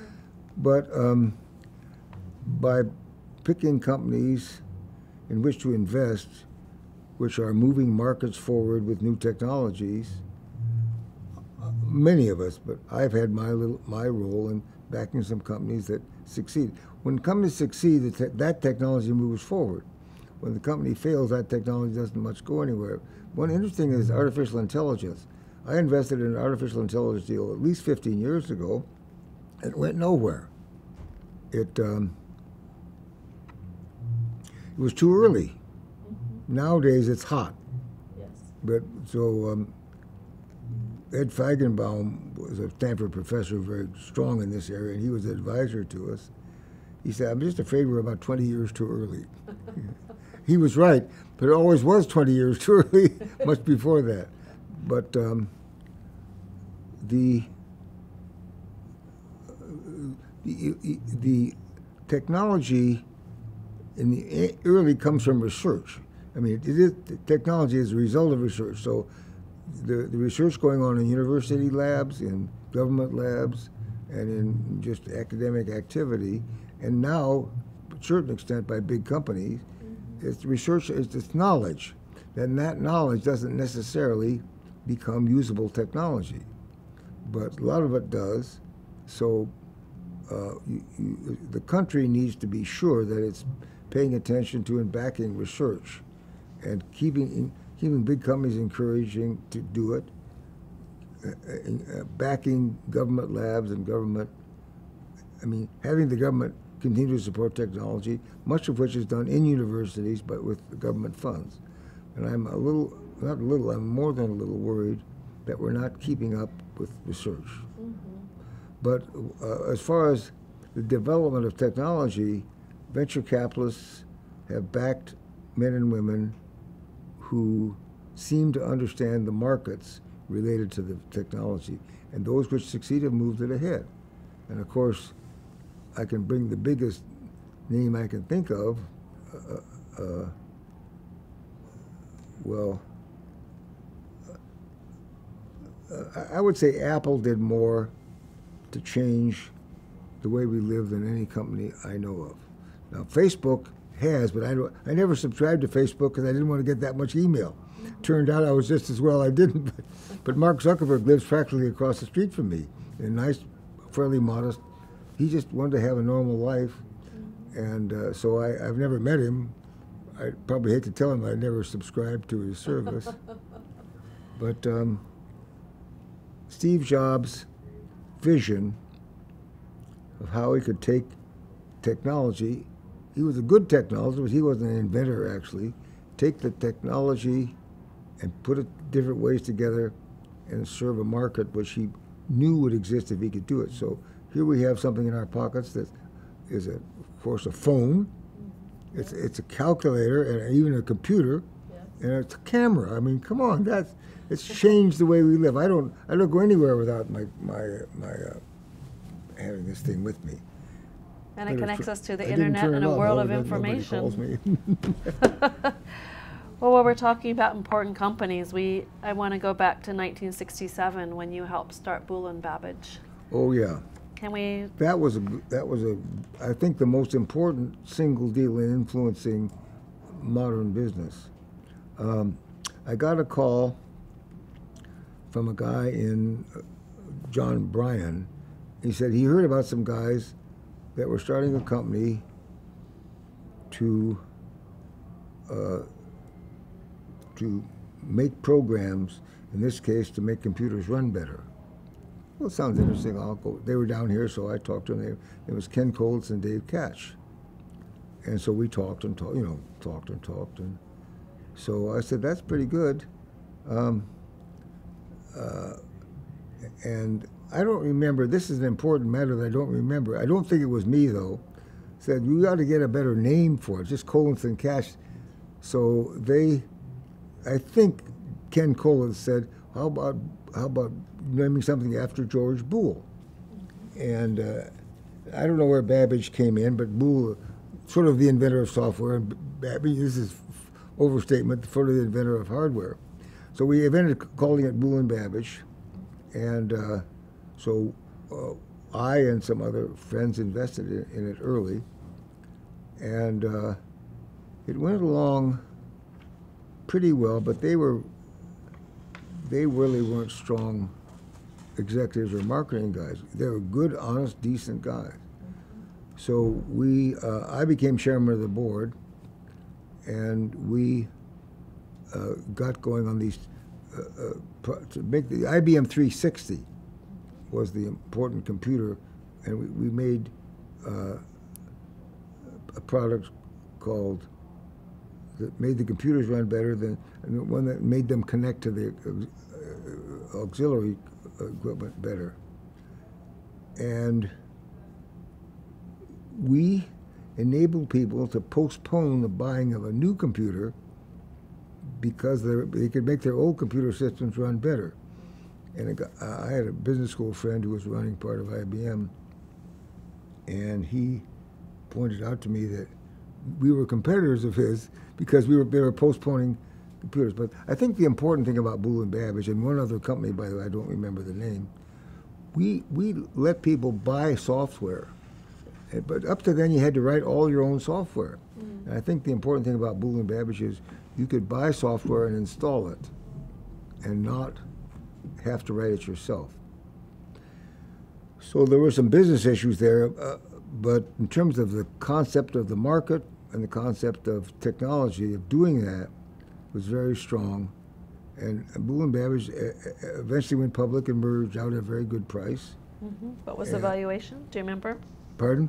Do you remember roughly the valuation when it went public? Well, I do know this. It was just under a billion, and then the stock went up over a billion. I said, well, we got, I, you know, I didn't have that much, but it was sort of fun to think about a billion dollars. A billion dollars in that era, so early. Right? So we, it did very well. And a a guy named Bruce Coleman uh, was brought in to, to run it and did a good job. But I, I like, I, I think of all the deals I've done, I, I think Boole and Babbage, at least I had a lot to do with what happened. And, and Boole and Babbage changed. I mean, not to talk about selling software, that's everyday business now. And I think we got that going. I've got most, I can't think of the other company, there was another company started doing about the same time, but I would say of all the deals I've done, Boole and Babbage had more effect on the computer business than any, anything I've done. Well, that's, I'm so glad you had a chance to tell that in detail. Did you, can you say more about, because you, you were not only an early investor, but you were with it, and as you said, you really helped shape it. Do you want to talk about your own role In what? in, in Boole and Babbage? Oh, well, my role, as it had been on many companies, when we were getting going, to meet weekly, as I did in Tandem, by the way. Tandem had a big beer party at the end of every week. Those so are I'd famous. go down and sacrifice my time and have a beer and talk to the owner, talk to the members. But I'd, I'd visit Boole and Babbage once a week because those guys weren't businessmen. They were, I've always wanted to have somebody who can run the company. Uh, a different company, but we had a guy come into a meeting one time and say, I have three courses of action. I'd like the board to tell me which one. And I said, No. Your job is to come to us with a course of action. If we don't like it, we'll tell you. But I, we're not going to. This is. I, I, I realized right then the guy wasn't an executive. He- But anyway, in, in Boole, so I'd go down there, and they made decisions about marketing and uh, selling stuff, and I, I finally realized after a few months they just couldn't do it. Good people, I'm not at all knocking them as people. So um, I insisted that we bring in someone who was trained as an executive, and we found this guy Bruce Coleman. I'm not sure how we got his resume. I just maybe, and we brought and Bruce did, did a very good job of shaping it into a, a company. And uh, he left eventually, but Paul Newton came in to run it, and he's the one that got it public and, and took it and sold it. But yeah, I, I, just to repeat myself, I think of all the deals that I think of where I may have influenced the course of history more than any other, it would be Boole and Babbage. Interesting that as an ironic part, so both Dave Katch, who has long since died, and Ken Kolence, who has died recently, Ken made a few tens of millions. Let's say let's say ten or twenty million. I don't really know. And so he started his own company and blew every penny of it. Mm. So he was working in a hardware store downtown, and I used to go in and chat with him. He had he feed his he could feed his family, and he, but I just thought, you know, this is Silicon Valley is so full of stories of guys with massive homes and ten cars that people should see this more often. That sometimes you don't make it. Now he made it in his first deal, but not when he went on his own. He just didn't have the stuff. Well, I'm glad you mentioned that. Um, the journey, everything is always isn't always up and to the right, is it? and we don't. Of course, as I said, as I said in my earlier loose statement, three or four deals out of every ten fail. Now I haven't had that result myself lately because I haven't been that close, but but you just have to you you, you have to have the guts to shut them down when they aren't working, and I don't. I mean, I remember a really good guy named Craig Taylor worked for me for a long time. Not, not a long time, f- five or six years, and then went on his own. But he said to me a couple years ago, you know, I had to unlearn something from you. I said, that? there comes a time to shut a company down, not put any more money or any more effort into it. And you're not good at that. He didn't say it that way, but so he said I had to unlearn that. And that's Do you think that's fair? A fair description? I think it's fair, although sometimes you can be in a company 20 years and it makes it. But I'm in a couple of deals now that are one way or the other over 20 years old. And I think one of them's about to go public, and one of them is sp- spun off some pretty good companies. But I think, I, I don't think of those in particular, but I could do better of saying, okay, this isn't working. Let's go home. I wanted to ask you about. We've talked about some of your favorite deals, the ones that have had the most impact.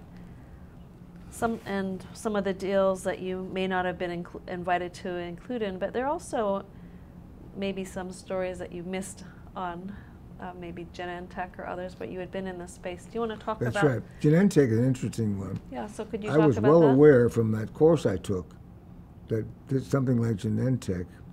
So I was a guy was working with me him called Brook Byers. You know Brook Byers, mm-hmm. and later on became, of course, very well known. But at that point, he was working for me, and he's the one I went down to look at Tandem. I sent him down there, and he liked Tandem, and he eventually met Tom Perkins. So he left later, far later, to join Tom. But uh, when uh, he said, you know, um, uh, I'm uh, heard about this company that Tom Perkins is studying mm-hmm. or backing called Genentech, and I think you know, uh, but I said, well, let's try to get involved in that. That sounds great. He said, no, his roommate Bob Swanson was he said, I want to get involved with my roommate's company. They both improved their roommates greatly later. but um, so I became, uh, we didn't do Genentech. And at first I thought, boy, was that bad. But then when Genentech, when uh, Amgen came along, I was able to do that. And of course, it wiped out any regret. So, but I've had things I didn't pursue eagerly enough. I, I heard about Apple in the early days, and I thought, what, would use a computer in the kitchen? I mean, recipes. I mean, I didn't have enough imagination to see what Apple could become. And I, when um, Stanford was thinking about coming involved, well, Steve Jobs came over to see me to talk about. I was working with Stanford on some things, and so my wife loved Apple everything, and really thinks Steve Jobs is so I didn't tell her he was coming. So we are walking out the, we met in the backyard, and we're walking out the front door. And I say, "Oh, by the way, Kathy, this is Steve Jobs." And she goes, "But I wasn't a big buddy of his, but I knew him pretty well." And uh, he, he, had dinner in a, in a, rather bad Mexican restaurant down across from the of the Whole Foods pretty often, and I'd see him walking from his house to the store, which he'd like to do but I never really. I should have got involved later in when St- Steve was coming back. I probably could have talked to somebody or done something, but I I was so screwed up at that point I didn't. So, eh, but I wouldn't say I just missed it. We already talked about one that I did miss, but not from my own efforts of Intel. Um, of these great big deals. Um, we started a company to compete with Microsoft, and we lost. I, will shorten that down, but Microsoft beat us out. I saw the need for a program to help computers run, and I still have um, a little thing from on my I don't know where it is now. We moved desks, but it said to Pitch Johnson champion fundraiser, but from the company that lost. So I didn't in, get involved with Microsoft.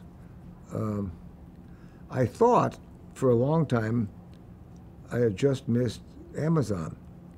So the guy who took my place, and we got to talk about my teaching at some point. Yes, that was we're going a to very important part of my life. Next. Um, he said um, that uh,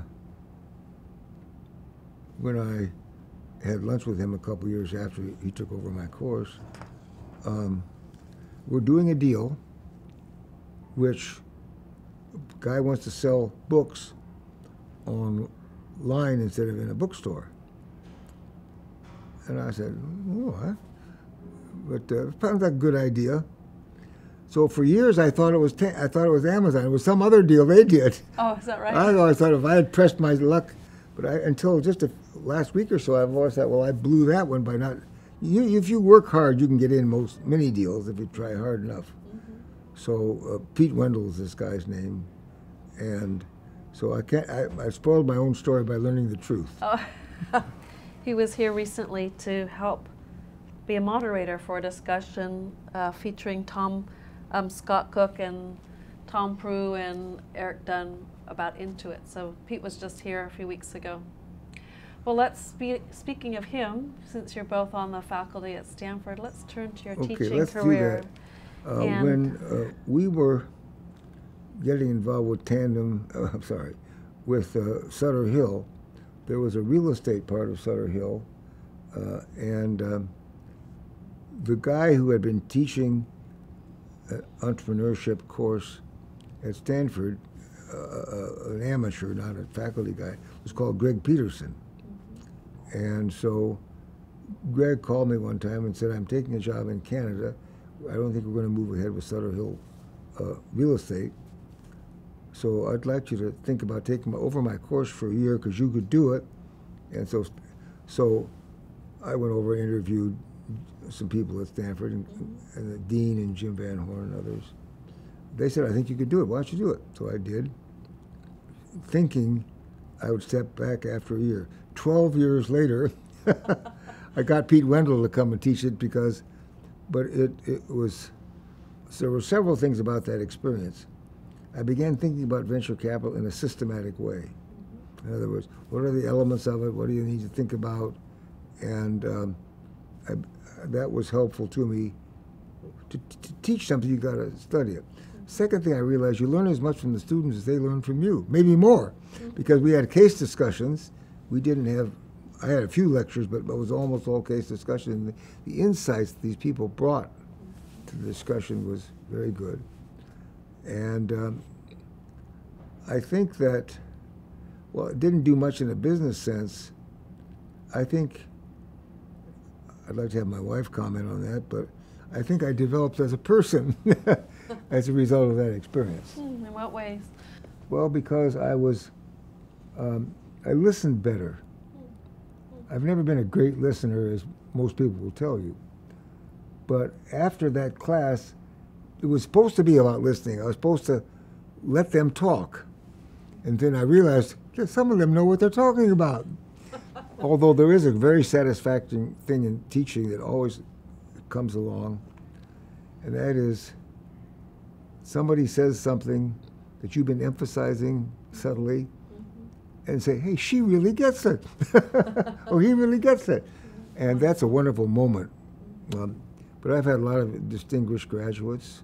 Right now, my most famous one is Joe Lacob. Okay, well, And as a result of that, although he went with Kleiner Perkins and did a great job for them, Joe uh, asked my wife and me to the game about once a year. So I'm, I'm hoping he'll ask me this year in the new location. But Joe and I have stayed friends, and I don't talk about it much, although I certainly am talking about it now. But I've have, I won't even go through the guys. That, some guys are running big companies. Some guys are prominent. About 35 of the 600 are venture capitalists, though. is that right? A whole generation then of new And then we had a lot of them go into investment banking. And uh, I ran into a guy last night at a dinner. I said, uh oh. but he said hello and hi, so I shook hands. And it occurred to me later, he's a guy from Grand Junction, Colorado. And uh, so I did, I did re- eventually remember where he was from and what he was doing. But um, I don't want to go on and on except that it, there's two things about it. It developed me a lot, and I contributed, in my view, something substantial to the community, to the venture capital community, by teaching that course, by letting them meet each other, talk to each other, and guiding the discussion. But I didn't give big. I did insist that they calculate internal rates of return and that kind of stuff, and that they think about valuations and how you make valuations. So there was content to the course, but I think there's enough of them out there in, in investment banking and corporate work that, of course, all the other professors influence them too. But I, my private ego trip says I, I sort of influenced them too. Let's, uh, if we could now f- talk about your role in the industry, the venture capital industry. you very early on helped developed with a, a small group of people what would be known as the Western um, Association for Venture well, when, Capital. Well, when we got right? going in '62, hmm uh, I heard about some venture capitalists were meeting in the city every month. Tw- I think it was 12 or so.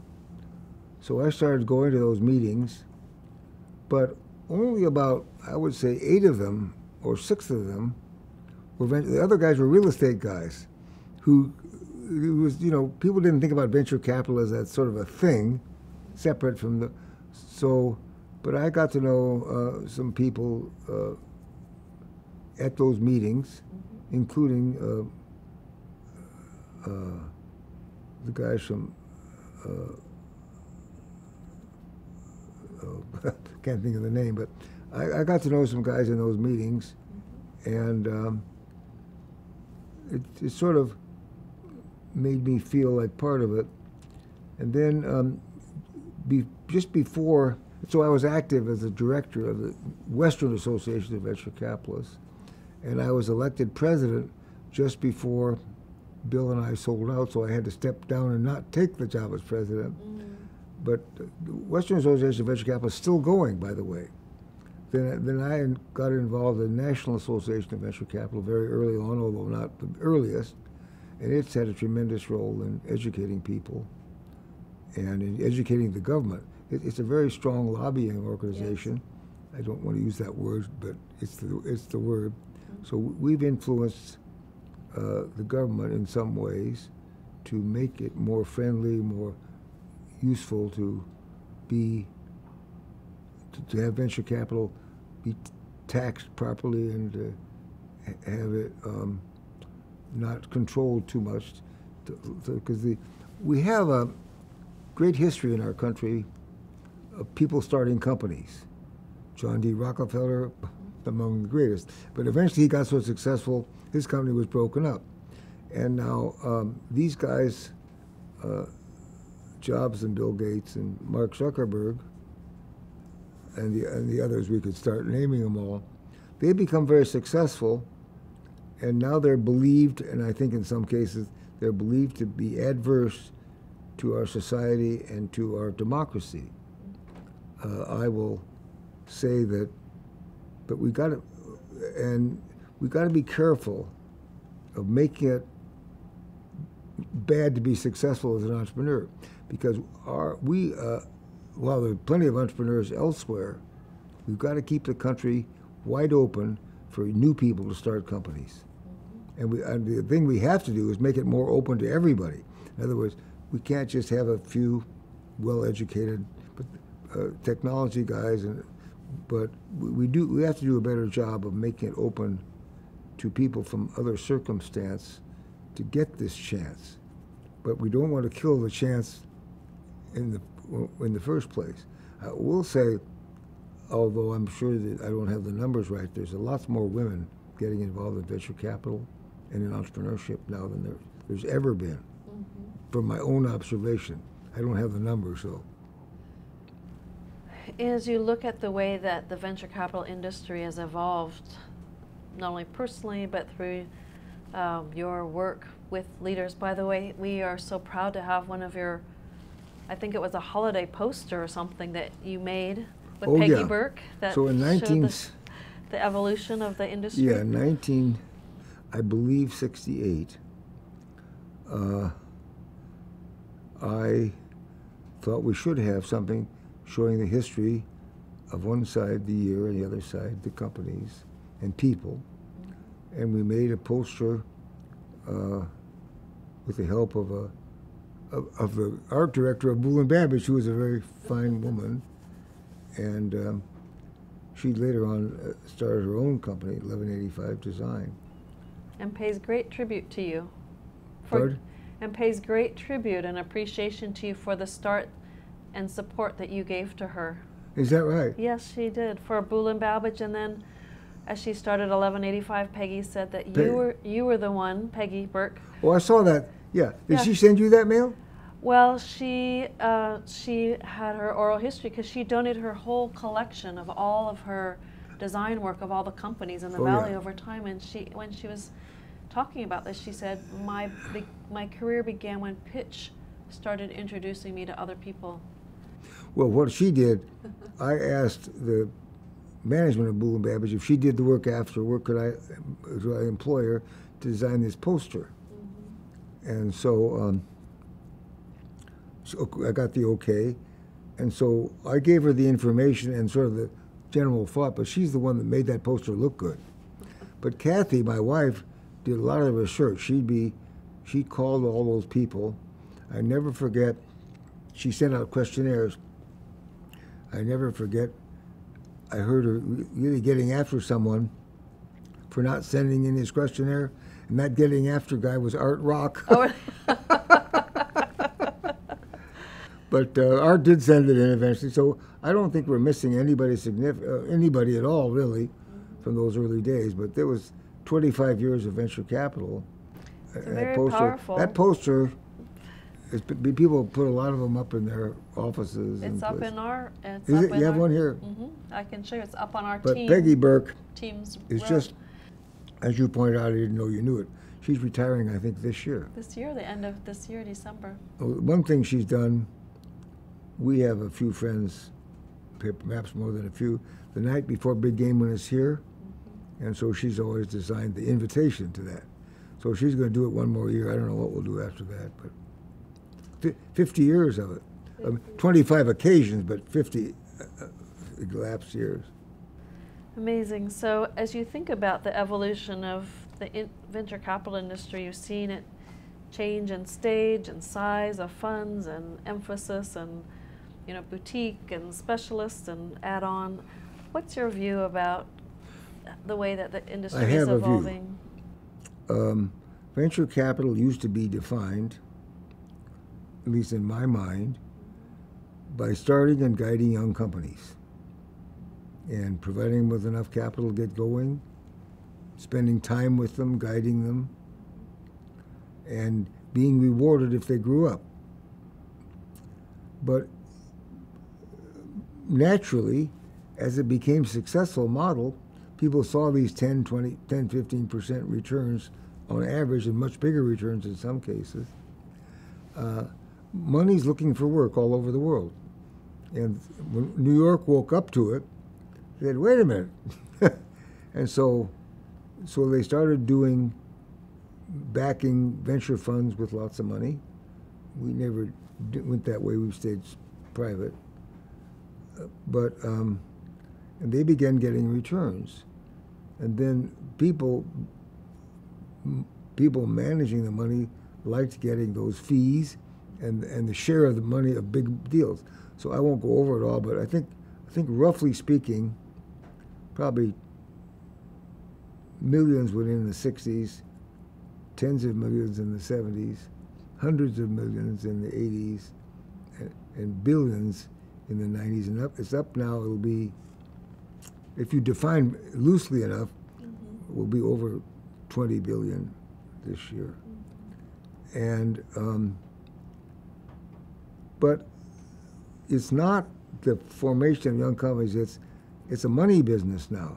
In other words, guys put in money at 500, no, not that much, but 400 million or 200 million at a 1.2 billion valuation and hope that it's going to go to 3 billion when it goes public. And then they make a lot of money, a pretty good return on a lot of money. Um, I could say that's not really venture capital. It's just, but it's honest, it's decent, it's open, everybody knows what they're doing. But it's not.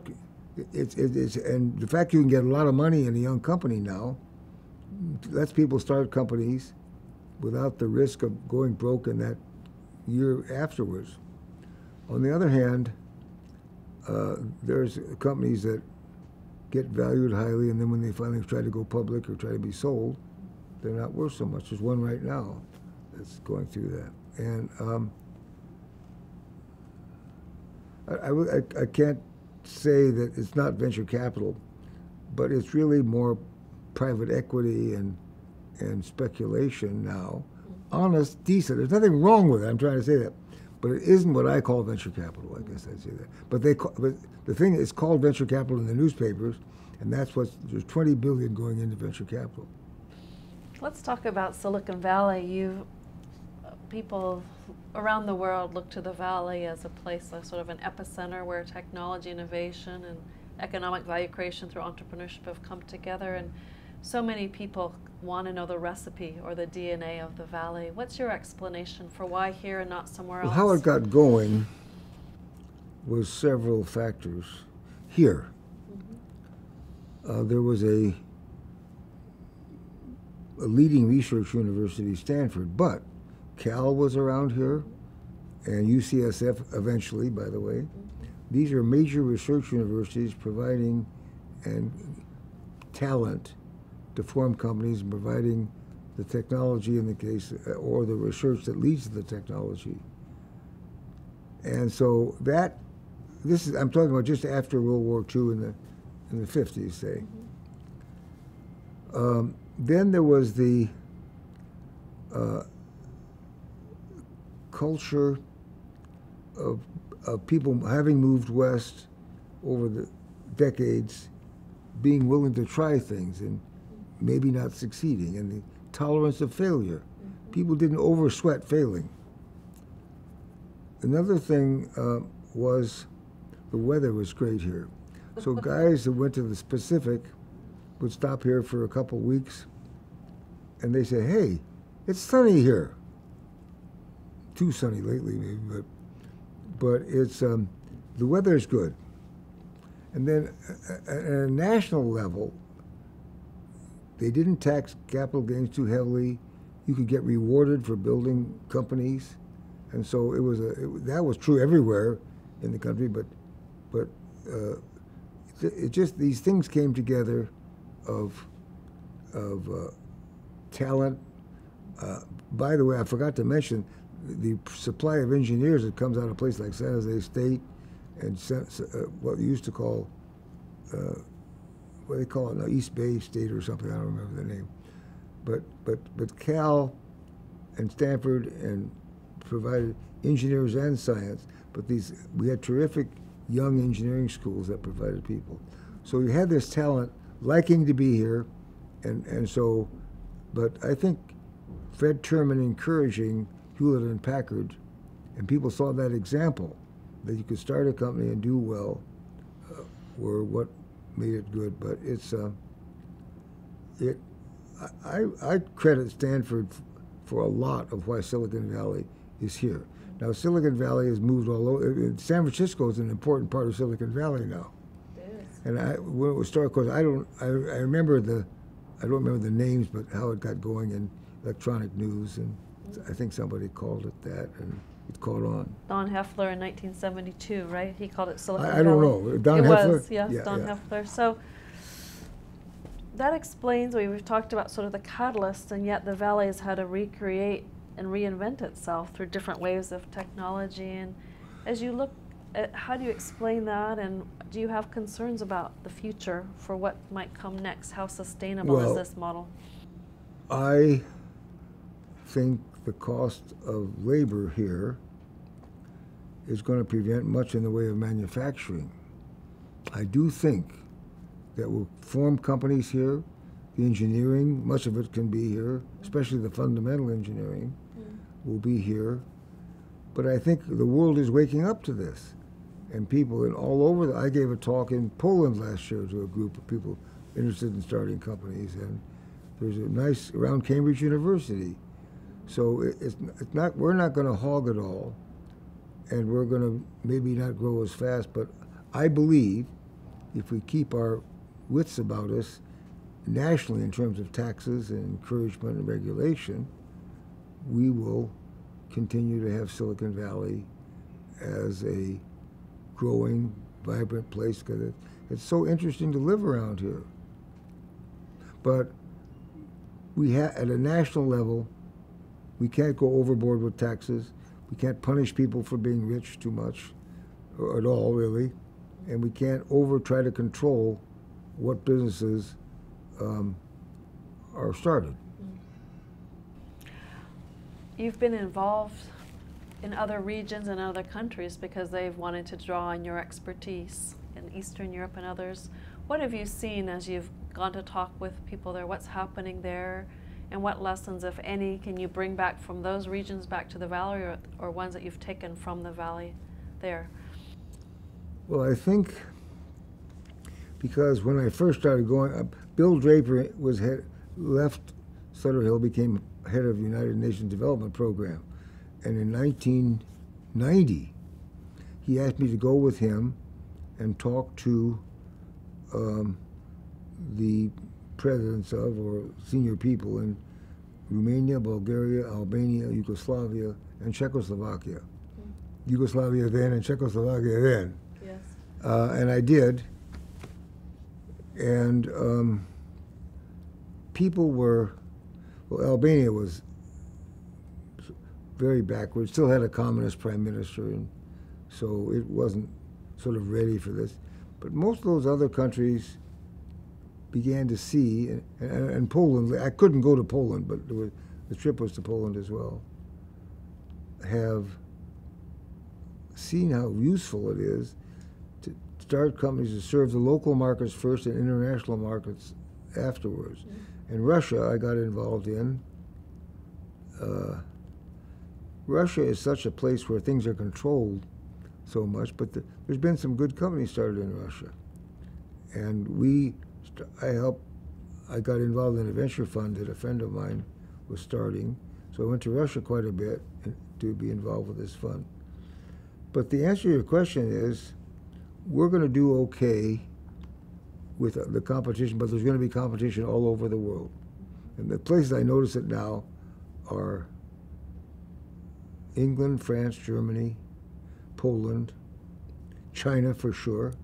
Although China is an interesting, we don't even have time to talk about China, except to say that China has very large freedom of uh, economic activity combined with very restricted ability to speak your mind and say what you want to do.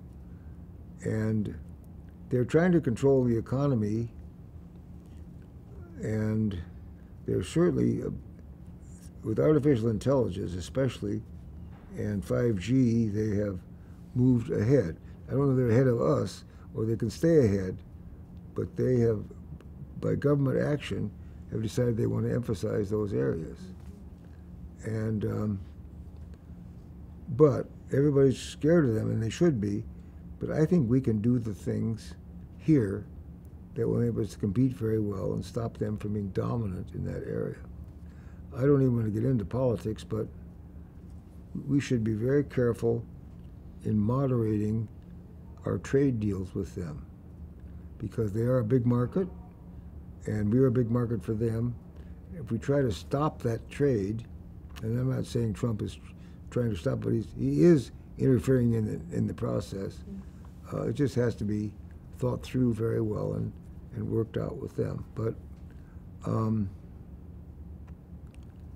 entrepreneurship is a worldwide phenomenon. One interesting thing is when I first started working in Germany, it was unthinkable to fail. If you failed, you'd practically, practically go to your farm and spend the rest of your life. Nowadays, it's much more normal to take venture capital risks. Mm-hmm. And one time we were, we were offered, uh, I think it was Boole and Babbage actually, offered to invest in a company in Germany. And they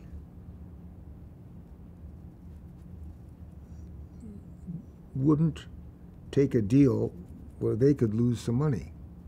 So we had a deal where they were sure to make some money, and we had a hell of a strong deal. From our point of view, it worked out very well that uh, saved the entrepreneurship taking the risk.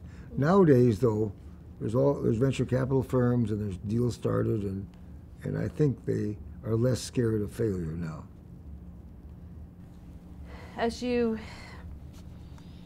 think about your career, are there other highlights that we should talk about that we haven't?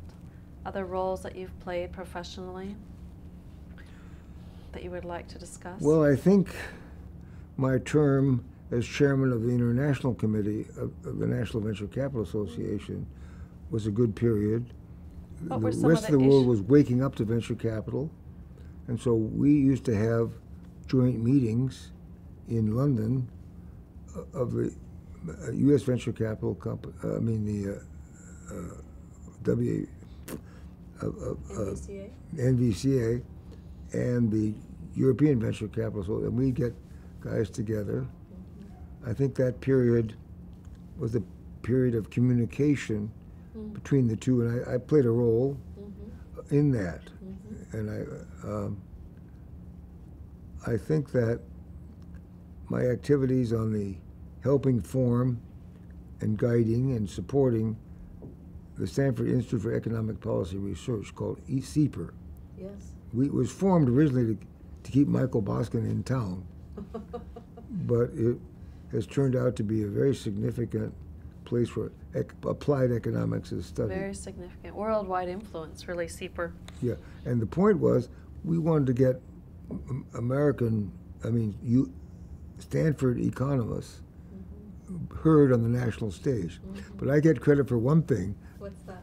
that is, um, we kept Michael Boskin in town, and because Michael got in town, well, Chris Boskin and he were married, and Chris always be, gives me credit for for keeping Michael in town so she could marry him.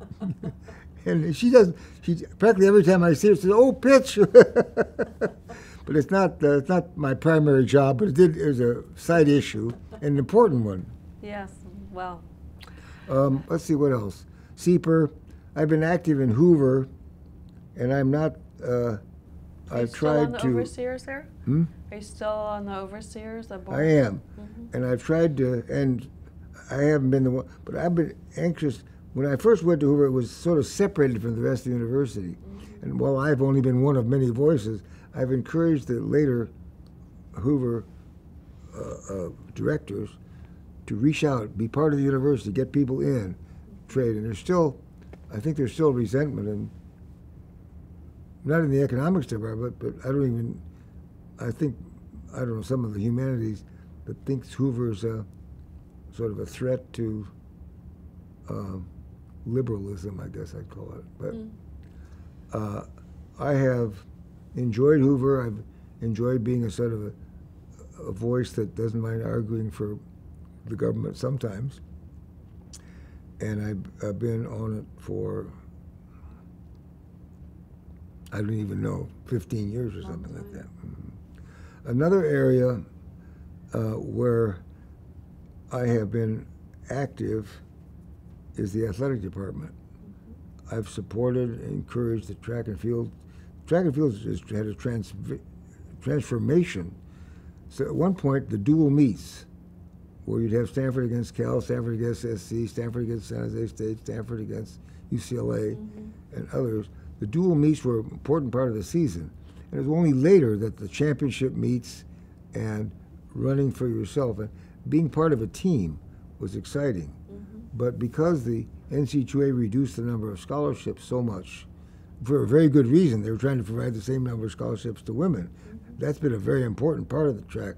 But the, the absence of dual meets has changed the sport at the college level. So it's, it's kind of a, I don't know, people don't pay much attention to it. Yet they did, we'd have 10, 15,000 out for a meet, mm-hmm. and do a uh, dual meet against SC especially, but there'd be 50,000 for a football game. I'm not suggesting it's comparable, mm-hmm. but right now, except at the international level, I would say the newspapers and television doesn't pay much attention to college track. Uh, But you're you still are an avid participant in track and field. I think one of the times I talked to you, you were going to go see Usain Bolt. Is that right? oh Are yeah, I've seen him many, many times.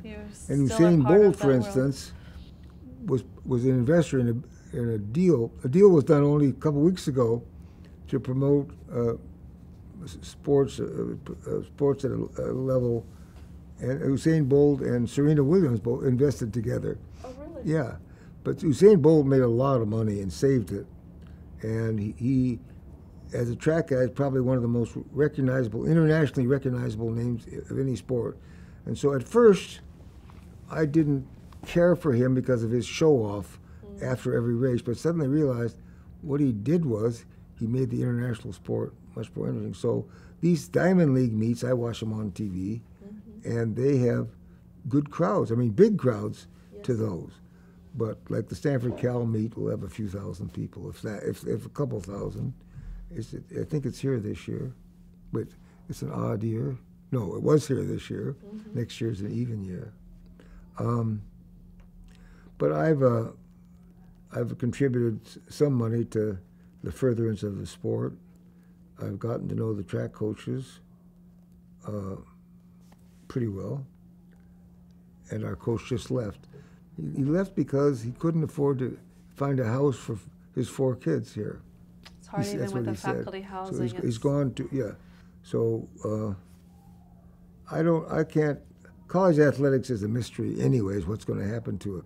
Mm. I just saw this morning that the state has voted to allow athletes to be paid for the use of their of their images and their names, and they Oh, really? uh, that's just in this, mo- this morning's paper. Hmm.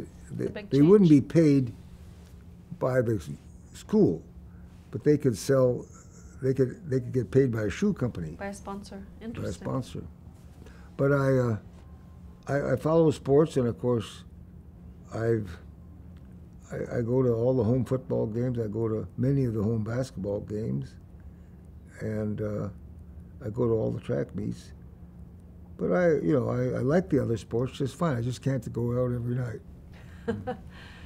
Well, I want to make sure that we cover some of the other areas of your life where you've contributed to the community. You've been very active in the education area, in the community college with Foothill and De That's one of the most interesting things was that very thing. I uh, I belonged to a luncheon club in Palo Alto called the Palo Alto Club, and I joined about oh I don't remember exactly when, but soon the guy said, "Well, how come you don't do anything?" and I said, "What do you mean?" He said, "Well, there's an opening on the community Foothill, De Anza, not De Anza, the Foothill Community College Board." Mhm. So I went and talked to some people over there, and I said, "Okay, I, I'll do that." So I ran and won. And then I, but one of the interesting things about and campaigning for that, I had to get the League of Women Voters to be for me. But there's an area of Palo Alto between the Creek and University and Middlefield and Alma, Mhm. and I spent very little time there as a kid Mhm. because there wasn't much of. Well, Palo Alto was there, Professorville, and Crescent Park was a few people, and down around Jordan there was a few people. So I I had the experience of knocking on doors and say, "Hi there, I'm running for Foothill," and they always ask. It's amazing how friendly people are. They're not suspicious. They don't think you're trying to sell something. But I guess uh, I wouldn't say I never got turned down, but I had a lot of fun just running. But I served 12 years, two, three four-year terms, uh, and during that period, it, we, we it was community colleges were free. It was supported by the state. So then, but the economics got so we had to begin to charge. Another thing that happened then was the Vietnamese arrived in mass, Mm. and they wanted education. Mhm. They were used to having education, and so we didn't set up classes for the Vietnamese, but we set up, we had to expand the size of classes so these people could take training in, mo- in modern technology. And they began to go to work as technicians in the, in the, in the growing businesses around here in the uh, 70s. Mhm. And, uh, and I also started teaching my class at Stanford. Let's see, I, I don't remember how much it overlapped, but quite a bit. Mhm. So that uh, that's the only real. I mean, other than a few committees here and there, that's the only really substantial community activity that I had. Well, how about your work with the opera? Well, that's that's uh, that's a cultural, yeah. So I got interested in opera. One of my fraternity brothers had lived back east and liked opera, so he, he took me to a couple of operas. They just happened to be Carmen and La Boheme in my senior year in school. So then I went off uh, to Harvard Business School, and I, I think I didn't go to any operas. I went to some symphonies there, Mhm. but I got interested in opera, and certainly didn't have a chance in the Air Force. But when Kathy and I got married, I was working shifts, and she was interested in opera. So this was in Chicago. We saw went down to something called the Lyric, which is the name of the opera company there.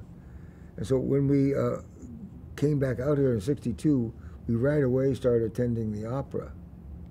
And John Bryan, this guy that introduced me to Boole and Babbage, eventually said, "Why don't you come on the board?" I said, "Oh no," so I didn't. He said, "Look, we're going to ask you one more time." so I did go on the board, and after serving on a lot of committees and meeting a lot of people, I became chairman of the board in, I think it's 1999. And so then, of course, the the uh, 9/11 came along, and people just didn't come into the city. So we had a very tough financial situation. And uh, Carl Mills, an an outstanding guy, was president then. Uh, Bill Godward was president when I started, but Carl Mills took it over. And Carl and I had to meet with groups of employees that stick with it.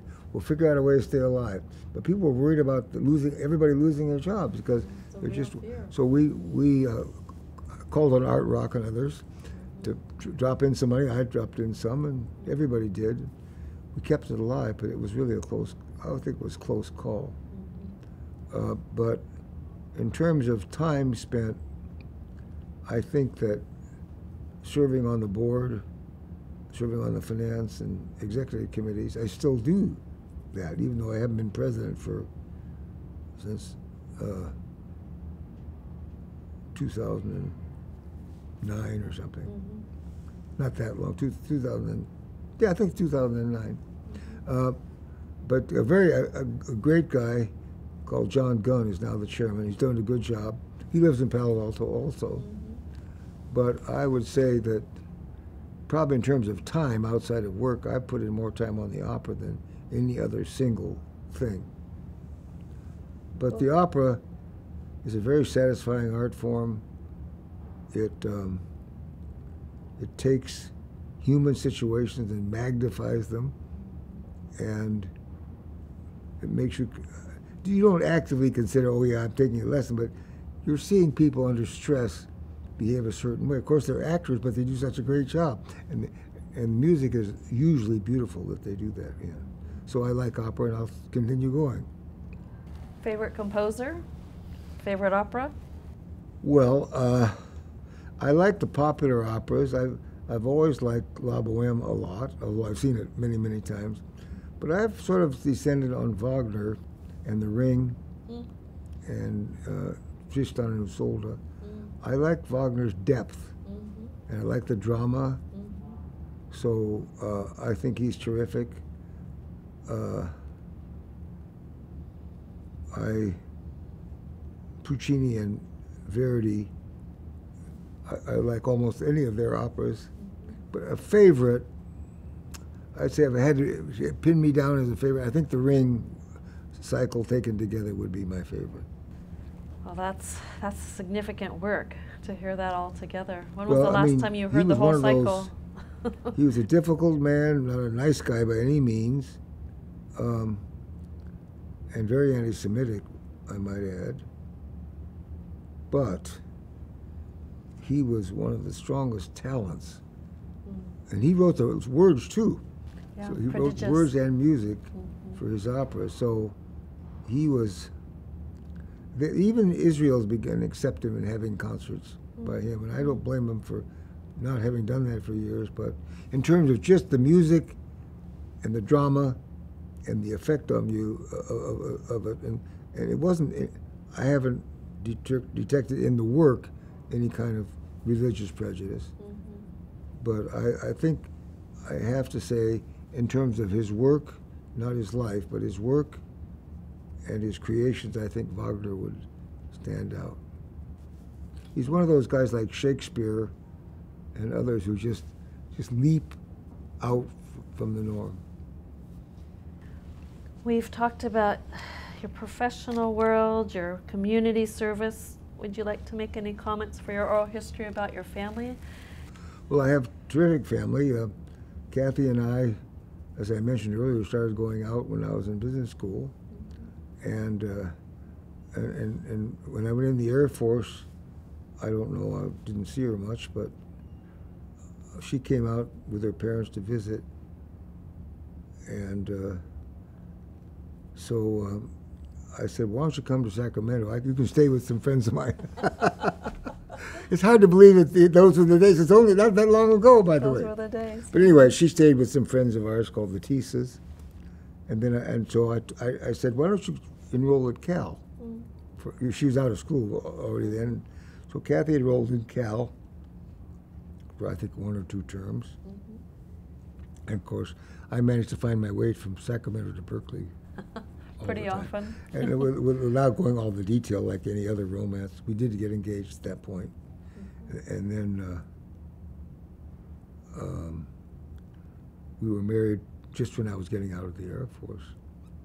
And it's sort of interesting. Uh, I learned something about the military. So I, I, I went to the. I did. I didn't want to. They didn't have terminal leave in those days. If you had leave coming, you, you, couldn't leave and then take it and then not come back. So I went to see the um, the sergeant, master sergeant who ran the, that office, and he said, "Oh no, sir, you have to be back here on the day you're getting out." But I said, "I'm getting married on June 11th, and this is you're talking about June. I think it was 21st was when I my anniversary of getting out would be." So he said, uh, by the way, he said, by the way, you owe us for for volleyball. So I, he saw it was in his right. So then, because I'm me and a lot of other guys probably would, I knew the general walked to his house for lunch every day from his office. So I managed to be on the sidewalk Just managed to be when he arrived at home, and I said, General Heffley, I need to talk to you about something. He said, Is it something that wait till after lunch? I said, Yes, sir. He said, Be in my office at 1.30. I said, Yes, sir. So I went and explained that uh, I was getting married on June 11th. I had a new job starting on June. Uh, no, June June 15th I was getting out. I had a new job starting June 21st. Well, this would be boring, except it's an interesting outcome. So um, he said, well, so, so I, I'm, I'm, I'd like to get transferred to this base near New York so that I can not only get married, I can go to that base and get discharged on the 15th. It isn't discharge going off of active duty. It's not the same as a, for, for an officer, you go on, go off active duty. And, um, and I'd like to be transferred there. So he had heard enough of me, so he pushed a button and said, some guy come, called Major Grant. He said, Major Grant, would you take care of Lieutenant Johnson? and he just made a decision that he didn't want to fool with it, but he, he knew that if General that General Grant, Major Grant worked out something. So I, I think I'll shorten this down, except that he said, "Well, I'll tell you what. When you leave here on June, I was started my leave. I think it was around June fifth, and then I had enough. I had enough leave to be. I had enough ten days leave or something. He said, "You, you uh, sign, give me sign all these papers now, uh, of, as of that date, and all you have to do is call me on June 15 and tell me you're alive. so then we'll we'll process you out." I kept my active duty card, by the way, which he probably should have taken. We got married, and uh, we were in driving through Canada on June. So I called up General Grant and said, I, Major Grant said, I'm alive, sir. He said, welcome. He said, well, I thank you. I said, I can't tell you how much it helped me. Oh, I know. The general had said to him, do we have any rules, Major Grant, that said the man has to drive 3,000 miles on his honeymoon? and so Major Grant says, well, no, sir.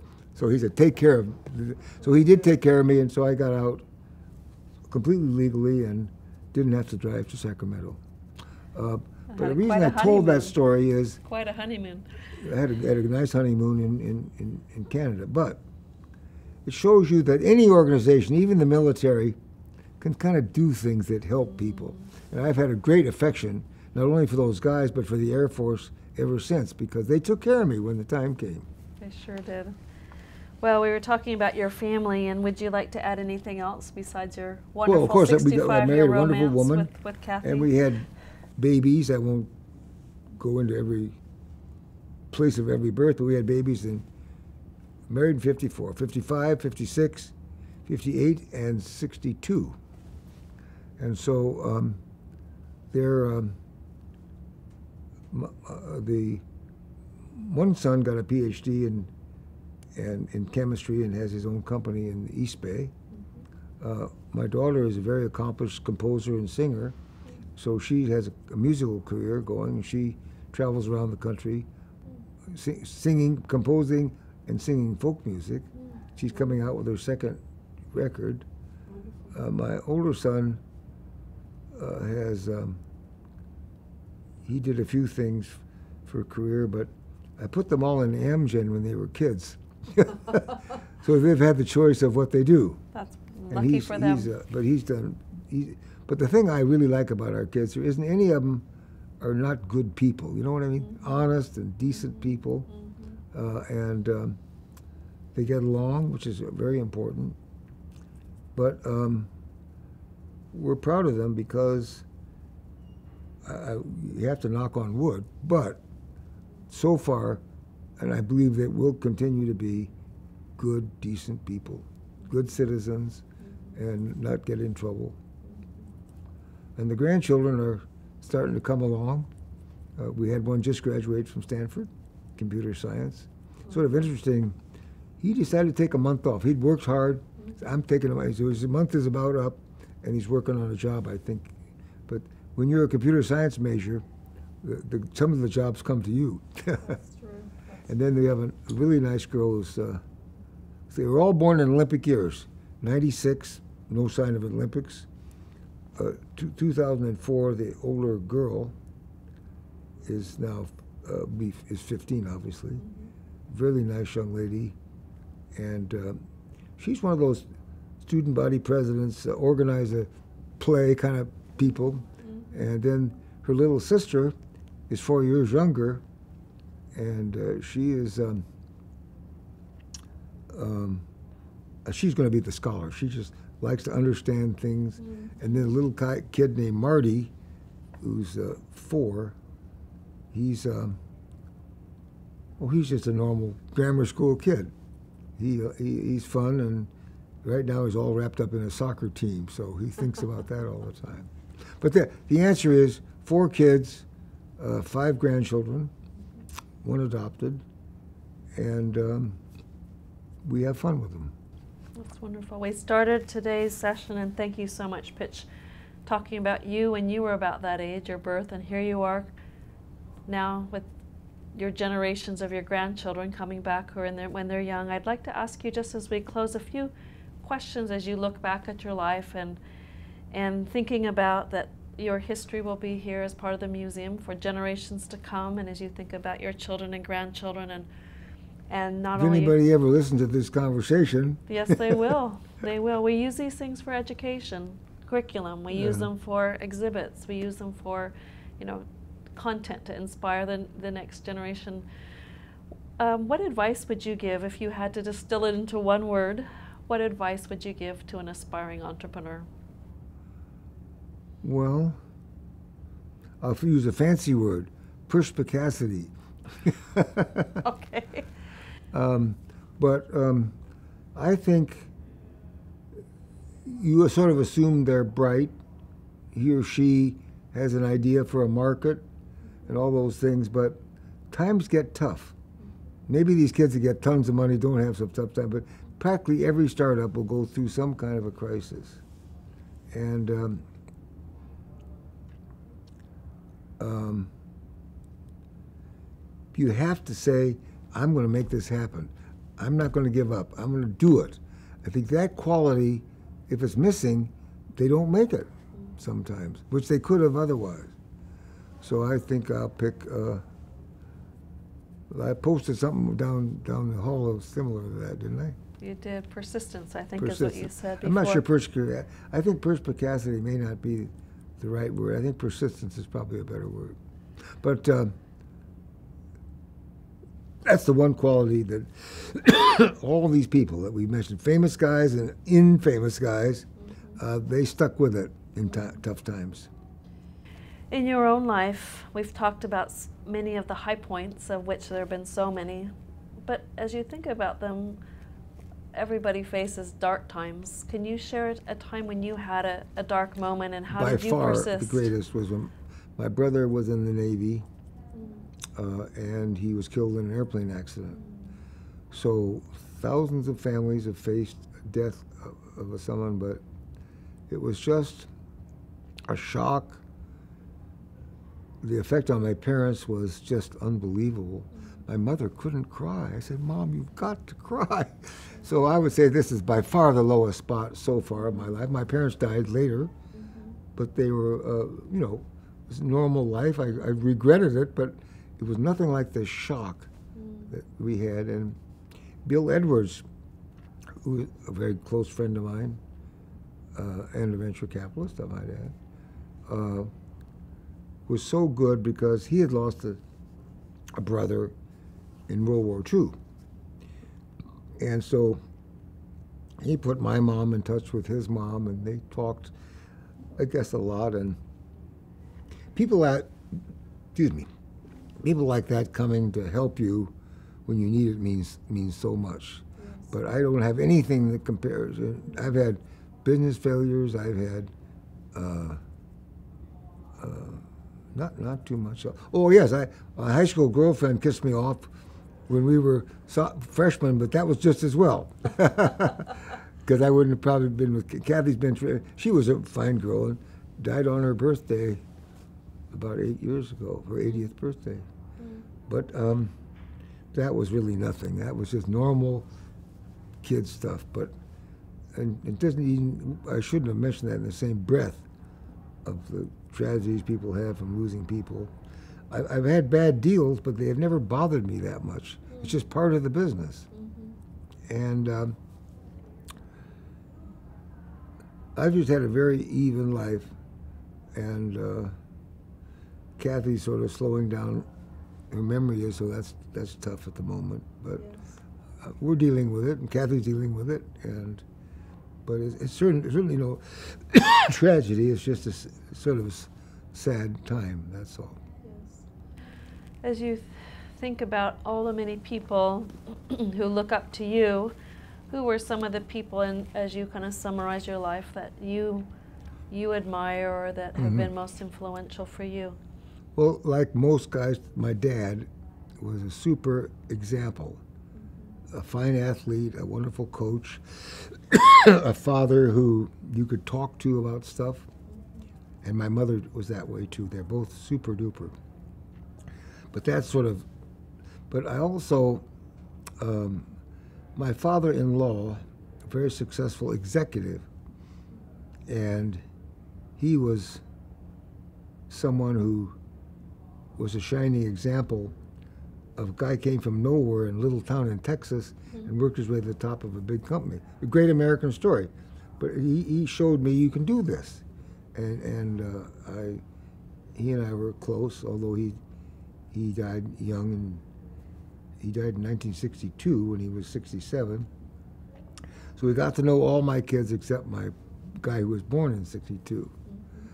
Mm-hmm. Uh, let me, and um, uh, uh, let me just think a minute.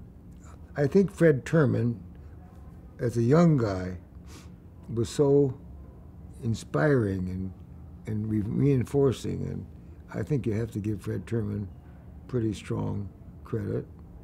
I had a physics teacher in high school who taught me the magic of, of enjoying understanding phenomena. He was his name was Hank Martin and he was a tough guy. He closed the door if he had an exam. He closed the door at eight o'clock. If you didn't get in there, or, I said, it was eight o'clock in those days. I can't believe they got us up that early. Uh, then, um, but I had some um, one moving thing there. Our chemistry teacher, Mr. Youngerman, lost a son during World War II, and we read about it in the paper. He came to class on Monday morning. I couldn't believe he was there. But he just said, many of you know I lost my son, and he, wa- he wants me to be here. That was a tough one, uh, but he was uh, inspiring that, that he knew what to carry on. Let me think of. Um, I had a wonderful mother-in-law, but you know, not particularly. Didn't have talks with her. Um, I think that pretty well covers it. One thing we didn't talk about that we probably don't have much time for, but as a result of um, having got involved with the Rockefellers, I was invited to go to Cuba a long time ago, and I, I wanted to fly my own plane.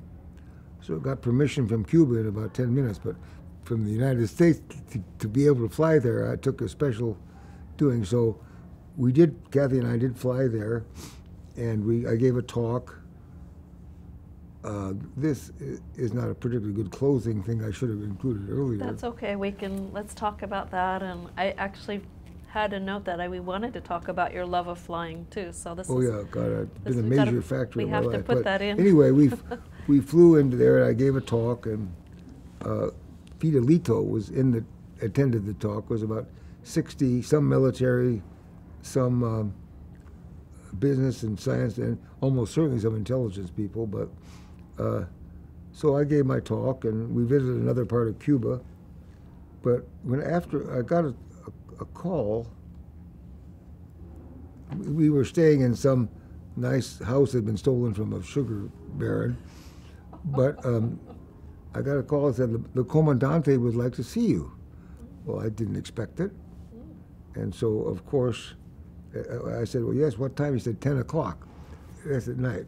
Well, Kathy has a hard time staying awake past 9 o'clock, but so we, uh, they set a car for us, and we went over there, and went to his, o- he was in his office, and we, we, we got by the guards and all that stuff. And so he spent half an hour or more talking about socialism and how they build this communist country and all that stuff. And, and uh, so um, I said at, at the end of his, I would call it a diatribe, but that wouldn't be fair that you know uh, we visited some of your fine labs, and there's enough good science there that the world could use some of it. And, and I've been involved in starting companies. I think you have the basis for some companies. If the if the workers had some stock and the management had some stock, you could probably raise money and start companies. He said, Mr. Johnson, if we did that, some people would have more money than others. And I said, well, Mr. President, I didn't call him Mr. Common, I called him Mr. President.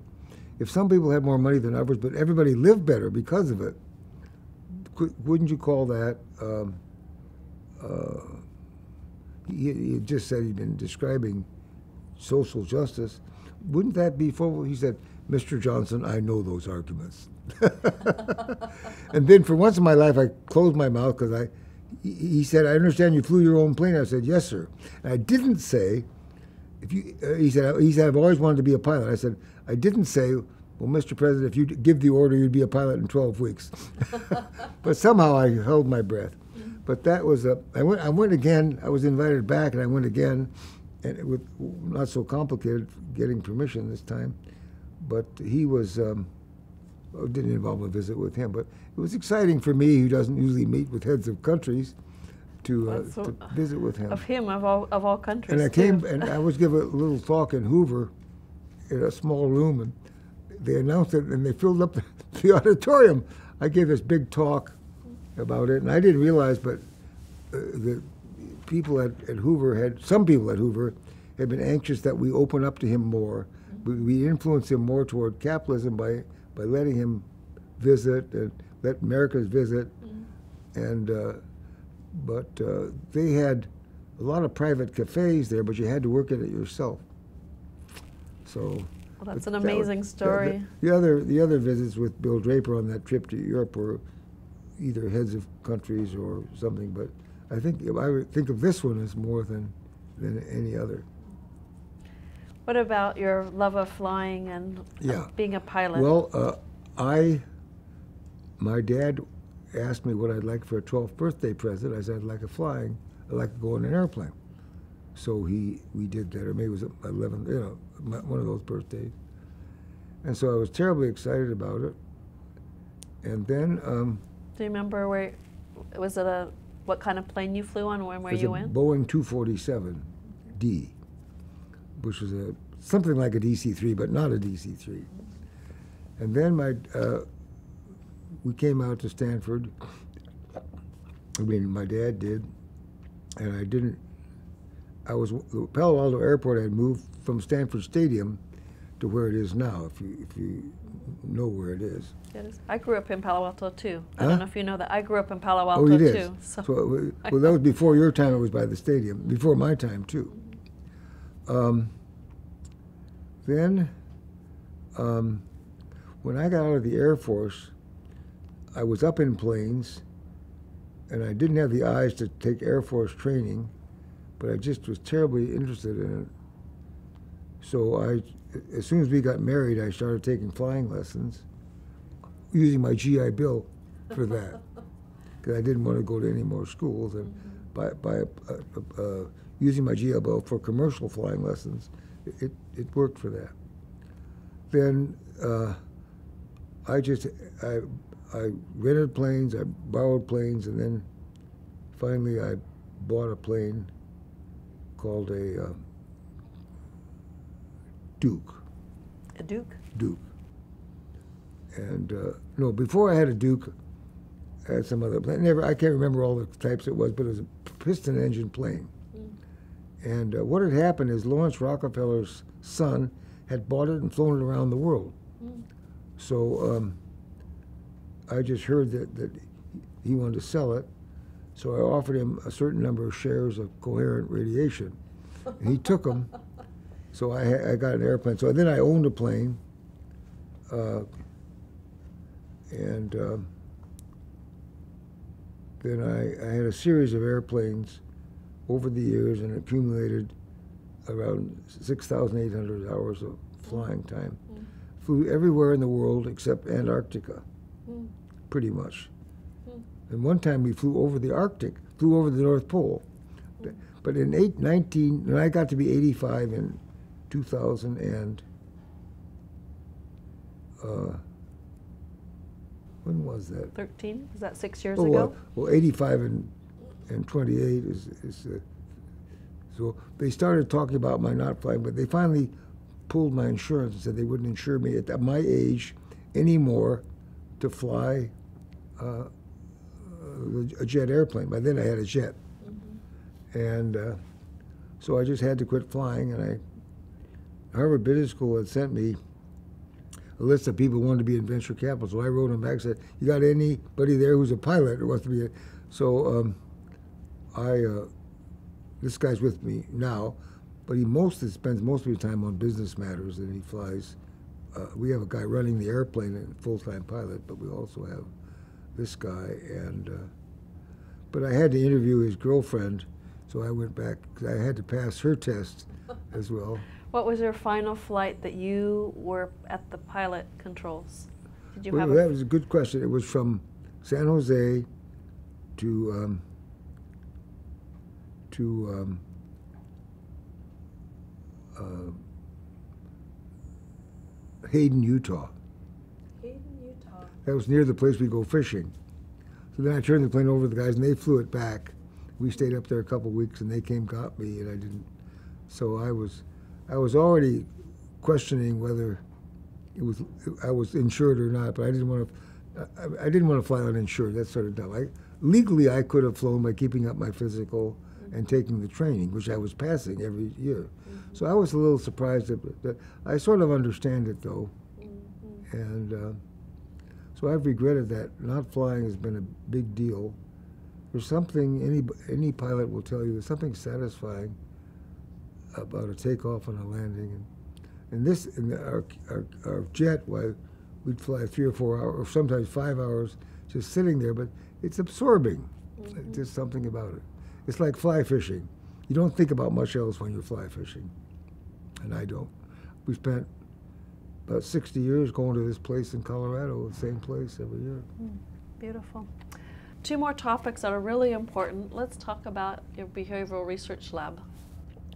Well, a guy named Allen Calvin, who was a professor of psychology, and uh, started behavioral research labs, and it was a, a programming company before there were computers. So it was just page after page of, of, of studying, of learning by uh, examples that it gave. And it was a, if there had been computers, it would have been computerized. So he was, and he, he did later, which we did discuss, he did later start um, the uh, uh, Palo Alto University. But the beginning of that and my involvement with him was this company, Behavioral Research Laboratories, which was the first sort of program learning I ever heard of. Mm. And uh, Jim Hobart took over uh, Coherent Radiation, uh, and it was a company that made lasers and used them for medical purposes. And it was quite a good company. Jim guided it. There was a fellow named Gene Watson was involved at the beginning. I don't know quite why. Gene Watson was gone before I got involved, so. But Gene had a lot to do with the founding of it. But Jim Hobart took it over and ran it for a long time, and um, it was important because there's two things it did that affect you every day. If you have any surgery on your eye or in your internal that, that you need to do things, it has a laser to do that. But also, um, when you take a something and at the grocery store and check it out, that that reader it was invented by Coherent, and we had big fights with the retail clerks union. We thought we were spoiling their lives, but it's just a normal advancement. And the, of course, the head of the retail clerks union then was called Catherine Johnson, but not my wife. but I think I just I, I think both coherent radiation, as eventually brought to the fore by Jim Hobart, and uh, uh, uh, behavioral research labs were very important young companies pioneering in their field. Glad we added that. Thank you. Seeing your phone reminded me of, of something else I forgot to ask you, which was you're such um, so f- facile with using your iPhone or your computer all the time. Do you remember the first computer that you worked, that you saw or that you used? What That was I your saw, not that I used. either one? Saw Well, or I, used? I, I took a course. I knew about computers, and I, I saw these card readers and that. But the first time I really involved in computers and program was a course I described, a course I took in. Um, uh, I don't remember. I don't remember the name of the course. Computer or something 101, and so we learned to program, learned about to, to read program, use programs. I took that in 1964 because it didn't exist when I was in school 14 years earlier. So, what kind of computer were you using? Do you remember? Yeah. I remember the program was called Algol and Cobol. I don't know what we ran them on. I don't remember. It was Stanford's computers, yeah. That's fine. Well, thank you. That's a nice bookend to seeing you there with your phone. Well, um, I have one last question about your life and one about the museum, and then we'll let you go. The one about your life is how do you measure your life as you look back at it? Um, first of all, I'm very happy with my marriage and family, which is, you know, it's it's that's most not most of your but most of your happiness. You, you've got a tough marriage or bad kids. It's hard, and I didn't have either one. I just fine kids in a super duper wife. Um, in terms of uh, what did I do for the society?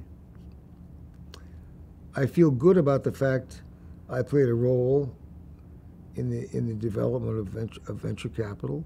It wasn't a key role, but it was one of the important roles, I think, Yes. and that gives me satisfaction. I could have done something else, and I could have had a corporate career, but I'm glad I didn't. Um, I, because I generated some capital, I've been able to give some money to organizations that I think are worth it. Um, but how would I measure my life? I guess I could have done more than for others than I did, because I was working hard for building companies, and in a way I was serving myself, but in a way I was helping people build companies. So you could, it's a complicated, but uh, I think um, I'd measure, I'd be a good strong B plus. How's that?